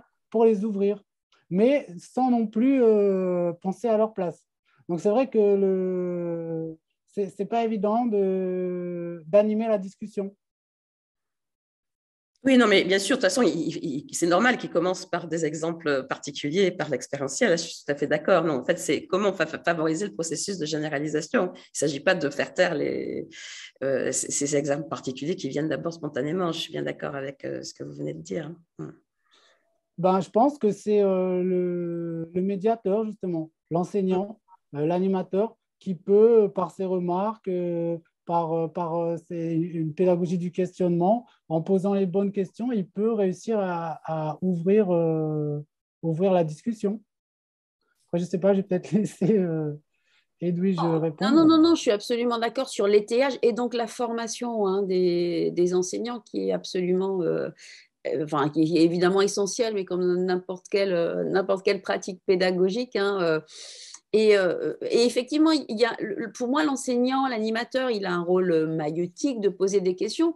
Moi, il y a, aussi une fonction de transmission dans l'atelier philo. Ça peut être aussi un moment où on transmet du vocabulaire en tout cas, moi, j'interviens beaucoup quand j'anime, parce que j'ai fait beaucoup de recherche-action, où j'accompagne, je co-anime avec, euh, avec les, enseignants. Moi, j'interviens beaucoup et j'interviens beaucoup aussi sur le fond, euh, pour reformuler, pour euh, permettre aux enfants de visualiser les distinctions qui sont en cours. On a distingué deux façons d'avoir peur. Les peurs avec des objets qui sont imaginaires, les, peurs avec des objets dans la vie réelle. Voilà. Euh, euh, et comme je disais tout à l'heure, donner du vocabulaire, voire même, pourquoi pas, donner aussi des éléments de l'histoire de la philosophie. Tel philosophe s'appelait Socrate, tel philosophe s'appelait Kant. Donc l'étayage de l'enseignant, c'est pas qu'un étayage maïeutique. On n'en reste pas seulement avec le vocabulaire, l'expérience des enfants, mais l'étayage de l'enseignant, il leur permet aussi de donner des éléments culturels et linguistiques qui leur permettent voilà, d'approfondir, d'être plus subtils euh, et, d'acquérir des éléments de culture et du vocabulaire et des mots euh, qui leur permettent de penser de façon de plus, plus, en plus subtile et de plus en plus complexe. Et de faire des écoles, alors j'y connais rien, moi, sur le plurilinguisme, etc. Donc, excusez-moi, je vais peut-être dire des bêtises ou des, choses, voilà. Mais Enfin, en tout cas, en philosophie, la, la pluralité linguistique, c'est une très, très grande richesse.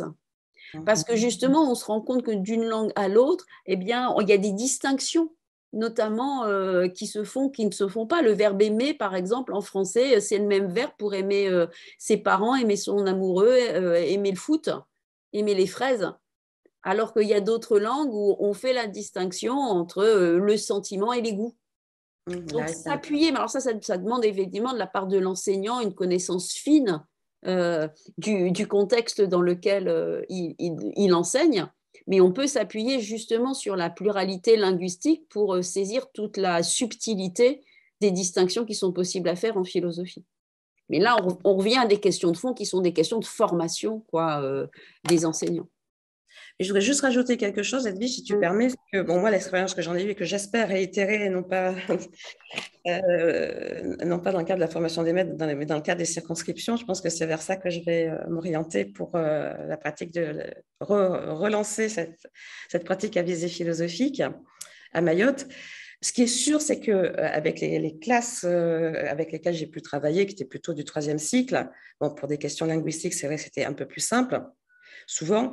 Mais euh, à Mayotte, souvent, les enfants ne sont pas mis en vraie situation de, langage, en vraie situation où ils, vraiment ils parlent quelque chose. Ils ont quelque chose. On leur demande, on leur, on dit, vous avez quelque chose à dire et vous pouvez le dire. Et euh, l'atelier à visée, enfin le débat visé philosophique était vraiment un moment tout à fait privilégié dans lequel ils prenaient enfin la parole, j'ai envie de dire. Ils le faisaient comme ils pouvaient mais je pense effectivement que cela mettait dans une véritable situation de parole, ce qui est effectivement très rare dans les pratiques euh, pédagogiques à Mayotte.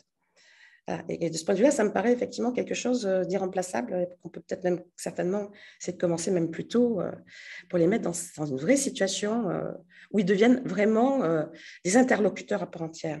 Mmh.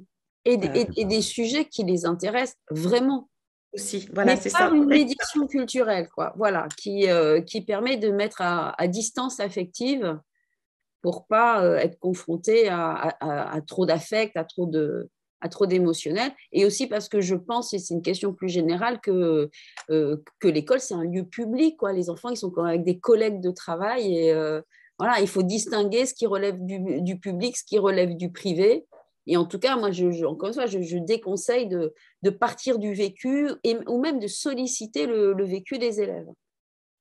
Ils le font s'ils en ont envie, mais ce n'est pas à nous d'aller solliciter leur intimité pour, euh, pour penser ou, la, ou même à la délivrer en public alors qu'ils alors qu'ils n'ont rien demandé. Merci infiniment. Moi aussi, j'ai plein de questions à poser, mais je ne suis pas sûr qu'en tant qu'animateur, j'en ai le droit. Mais euh, pour étayer, enfin, on peut plutôt aller dans le sens de ce qui, a été dit, une expérience très récente à, à l'INSPE donc, de La Réunion m'a montré que le rapport à la discipline euh, est extrêmement variable en fonction des étudiants. un jeune professeur des écoles, quand il doit préparer une leçon de mathématiques, va faire des recherches en mathématiques. Quand il a une leçon à faire en géographie, il va faire des recherches en géographie. Mais lorsqu'on lui demande de faire de l'ADVP, il ne va pas faire forcément des recherches en philosophie. Et euh, là, il y, a, un gros, gros, problème parce que finalement, on sombre un petit peu sur ce que tu disais, Edwige, tout à l'heure, une sorte de relativisme euh, conceptuel, notionnel, éthique, euh, ontologique, etc. Et là, je pense qu'il y a vraiment un, effort à fournir. Mais ma question était plutôt sur Simon. Ça m'a passionné, très sincèrement, Simon. Merci infiniment parce que je travaille beaucoup autour de la thématique de la contextualisation, des adaptations. Moi, personnellement, je vois plutôt euh, l'adaptation euh, comme étant une normation, hein, c'est-à-dire un modèle descendant, absolument pas une forme de contextualisation. Euh, donc, on est plutôt, je suis plutôt sur, sur le modèle de Foulcadien, donc savoir, pouvoir, et le modèle descendant finalement des pouvoirs de par les savoirs. Donc, moi, j'ai vraiment le sentiment que les adaptations de programmes, quels que soient les territoires d'outre-mer, sont plutôt finalement euh, une mainmise en quelque sorte sur les contenus d'enseignement et non pas une mise en liberté euh, de ces contenus dans les Outre-mer. Mais ça, c'est un autre, un, autre, un autre débat. Par contre, je m'interroge vraiment, c'est sur euh, d'abord deux mots que vous avez employés.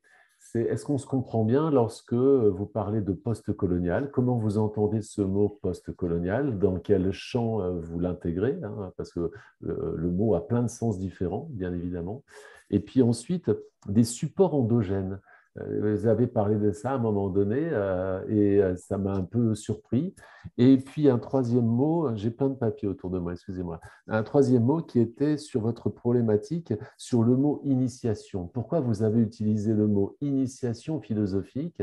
J'ai trouvé que c'était finalement une forme d'aporie parce que finalement, c'est un peu à l'encontre de ce que vous vouliez dire à la fin.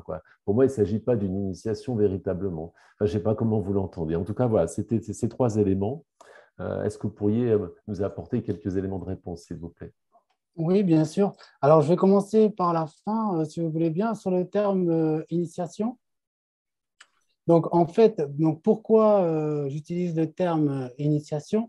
Parce que dans, dans, ce terme, qui est justement choisi avec précaution, il y a l'idée de, début, de commencement, de graines qui est semée. Et l'initiation, c'est un peu comme une pratique d'éveil. Par exemple, comme l'éveil philosophique, un peu, il peut être comparé à l'éveil musical. Ou, par exemple, quand un enfant apprend à jouer d'un instrument, euh, on ne lui demande pas tout de suite euh, de jouer euh, un solo, s'il joue de la guitare électrique de, de Metallica ou j'en sais rien, mais je veux dire, on lui demande de, de faire les choses progressivement. Et c'est ça, donc cette pratique d'éveil, d'initiation, qui fait que, en fait, la philosophie avec les enfants, elle constitue, comme elle disait Edwige Chirouter, une propé, propédeutique à des compétences qui vont être développées plus tard. Mais c'est pour ça que ce qui a été dit tout à l'heure, que Lippmann a, commencé à travailler avec les, enfants, c'est parce qu'il se rendait compte que euh, des étudiants de, 20 ans n'arrivaient pas. Donc, commencer dès le plus jeune âge à initier les élèves, euh, c'est-à-dire que euh, dans, dans, le terme initiation aussi, peut-être qu'il y a moins la, notion d'exigence, d'évaluation à la fin. Mais parce que on ne peut pas, là c'était une expérience, euh, je ne pouvais pas savoir ce que ça allait donner euh, avant, donc j'ai préféré au départ parler d'initiation. Hmm. C'est parce qu'en fait, euh, ce mot apparaît dans de nombreux champs hein, et on l'a remplacé progressivement pour écouter, enfin, éviter un petit peu ce côté péjoratif ou je sais pas, une sorte d'euphémisme finalement par rapport à. on, parle, on parle plutôt de découverte, découvrir, enfin voilà, notamment dans les programmes hein, de l'enseignement primaire. Mais je ne sais pas, moi j'ai trouvé ça euh, intéressant de, mobiliser ce nom. Mais je pense qu'il faut, ce mot, pardon, mais il faut, il faut le problématiser du coup, parce que euh, ça, porte un sens hein, dans, dans, une problématique. Mais c'était surtout sur le, colonial, et, ou le post-colonial plutôt, excusez-moi, et sur euh, le support endogène. support endogène. Oui. Alors, le, mot support endogène, donc en, en réalisant une, des recherches en fait sur les pratiques philosophiques avec les enfants, donc, j'ai trouvé la recherche de d'Étienne Collat donc qui a travaillé sur des, donc justement qui a utilisé, donc c'est le titre de, son article, des supports endogènes en Afrique. et et donc, euh, j'ai lu euh, cet article, et euh, donc ce mot vient de là, en fait. Il, vient de, de, cette lecture. Et je trouvais que, en fait, endogène, ça veut dire ce qui vient de l'intérieur. Donc, c'est-à-dire que les, les, les, les albums que j'utilise sont des albums qui ont été créés sur le territoire et, qui parle euh, du territoire. Et donc, euh, donc c'est en ça qui, qui se euh, qui sont des supports endogènes. Après, par rapport. je vous interroger sur le post-colonial parce que du coup, dans mon esprit, ce n'est pas du post-colonial, mais plutôt du décolonial, dans le sens où on l'entend aujourd'hui dans les sciences humaines. Hein. C'est-à-dire que cette idée finalement qu'on se libère d'une d'une aura tutélaire euh, ancienne, historique, euh, sociétale et culturelle, métropolitaine ou coloniale. Enfin, je ne sais pas comment on pourrait euh, se positionner par rapport à ça, mais on serait plutôt dans les décolonial studies finalement, par rapport à votre propos. Hein. Et ensuite, ça interroge aussi, mais là, c'est une vraie question personnelle que moi, je n'ai pas de réponse là-dessus. Vraiment, je, je, suis perdu. C'est sur le sens que que finalement tout un ensemble de discours euh, apporte euh, sur un domaine donné. Et notamment, on mobilise les, albums de jeunesse ou la littérature de jeunesse, on mobilise euh, un, certain nombre de supports dits endogènes, mais on n'interroge pas véritablement tout ce qui concerne les formations discursives.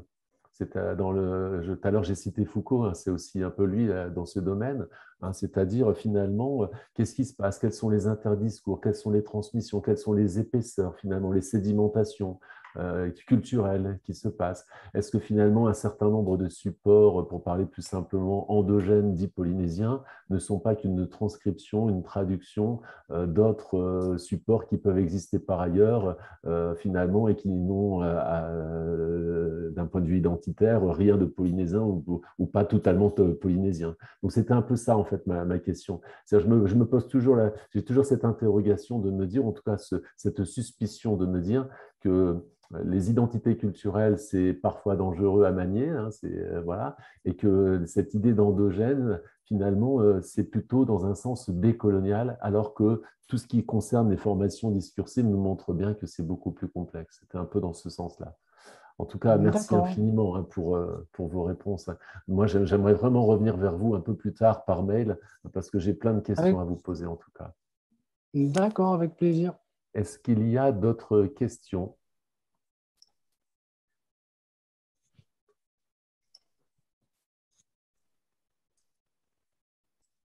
Écoutez, euh, je vous remercie infiniment. Voilà. Je, le, prochain téléséminaire aura donc lieu au mois de septembre. Euh, nous aurons comme invité euh, Christian Olivier et Sylvain Genevois de l'Université de La Réunion et qui vont nous parler d'une forme de contexte tout à fait moderne, d'actualité en tout cas, le contexte numérique et euh, notamment, euh, ils vont, ils vont évoquer un certain nombre de problématiques euh, liées autour de la pandémie, je crois, de l'enseignement à distance et finalement de, du questionnement de la notion de contexte dans ce dispositif. Pour le mois de décembre, pour l'instant, nous n'avons pas trop d'idées, donc je suis preneur. Si vous avez effectivement, vous de vos côtés, des collègues qui souhaitent intervenir autour des questions de contextualisation telles que le réseau le défend, ben, vraiment pas de souci, on serait tout à fait accueillant. Et pour le, mois de, mars, nous avons déjà 2023, euh, nous avons déjà une autre idée avec euh, une collègue qui travaille notamment sur de la géographie euh, culturelle et qui d'ailleurs fait ses travaux sur la Polynésie, hein. mais on en reparlera un peu plus tard. Voilà. En tout cas, j'attends éventuellement des suggestions. Ce serait vraiment sympathique de pouvoir alimenter notre réseau de cette manière. Et je vous souhaite une belle fin de journée à, tous. Et encore merci infiniment, Edwige. Merci beaucoup, Simon, et, et, à très bientôt. Merci.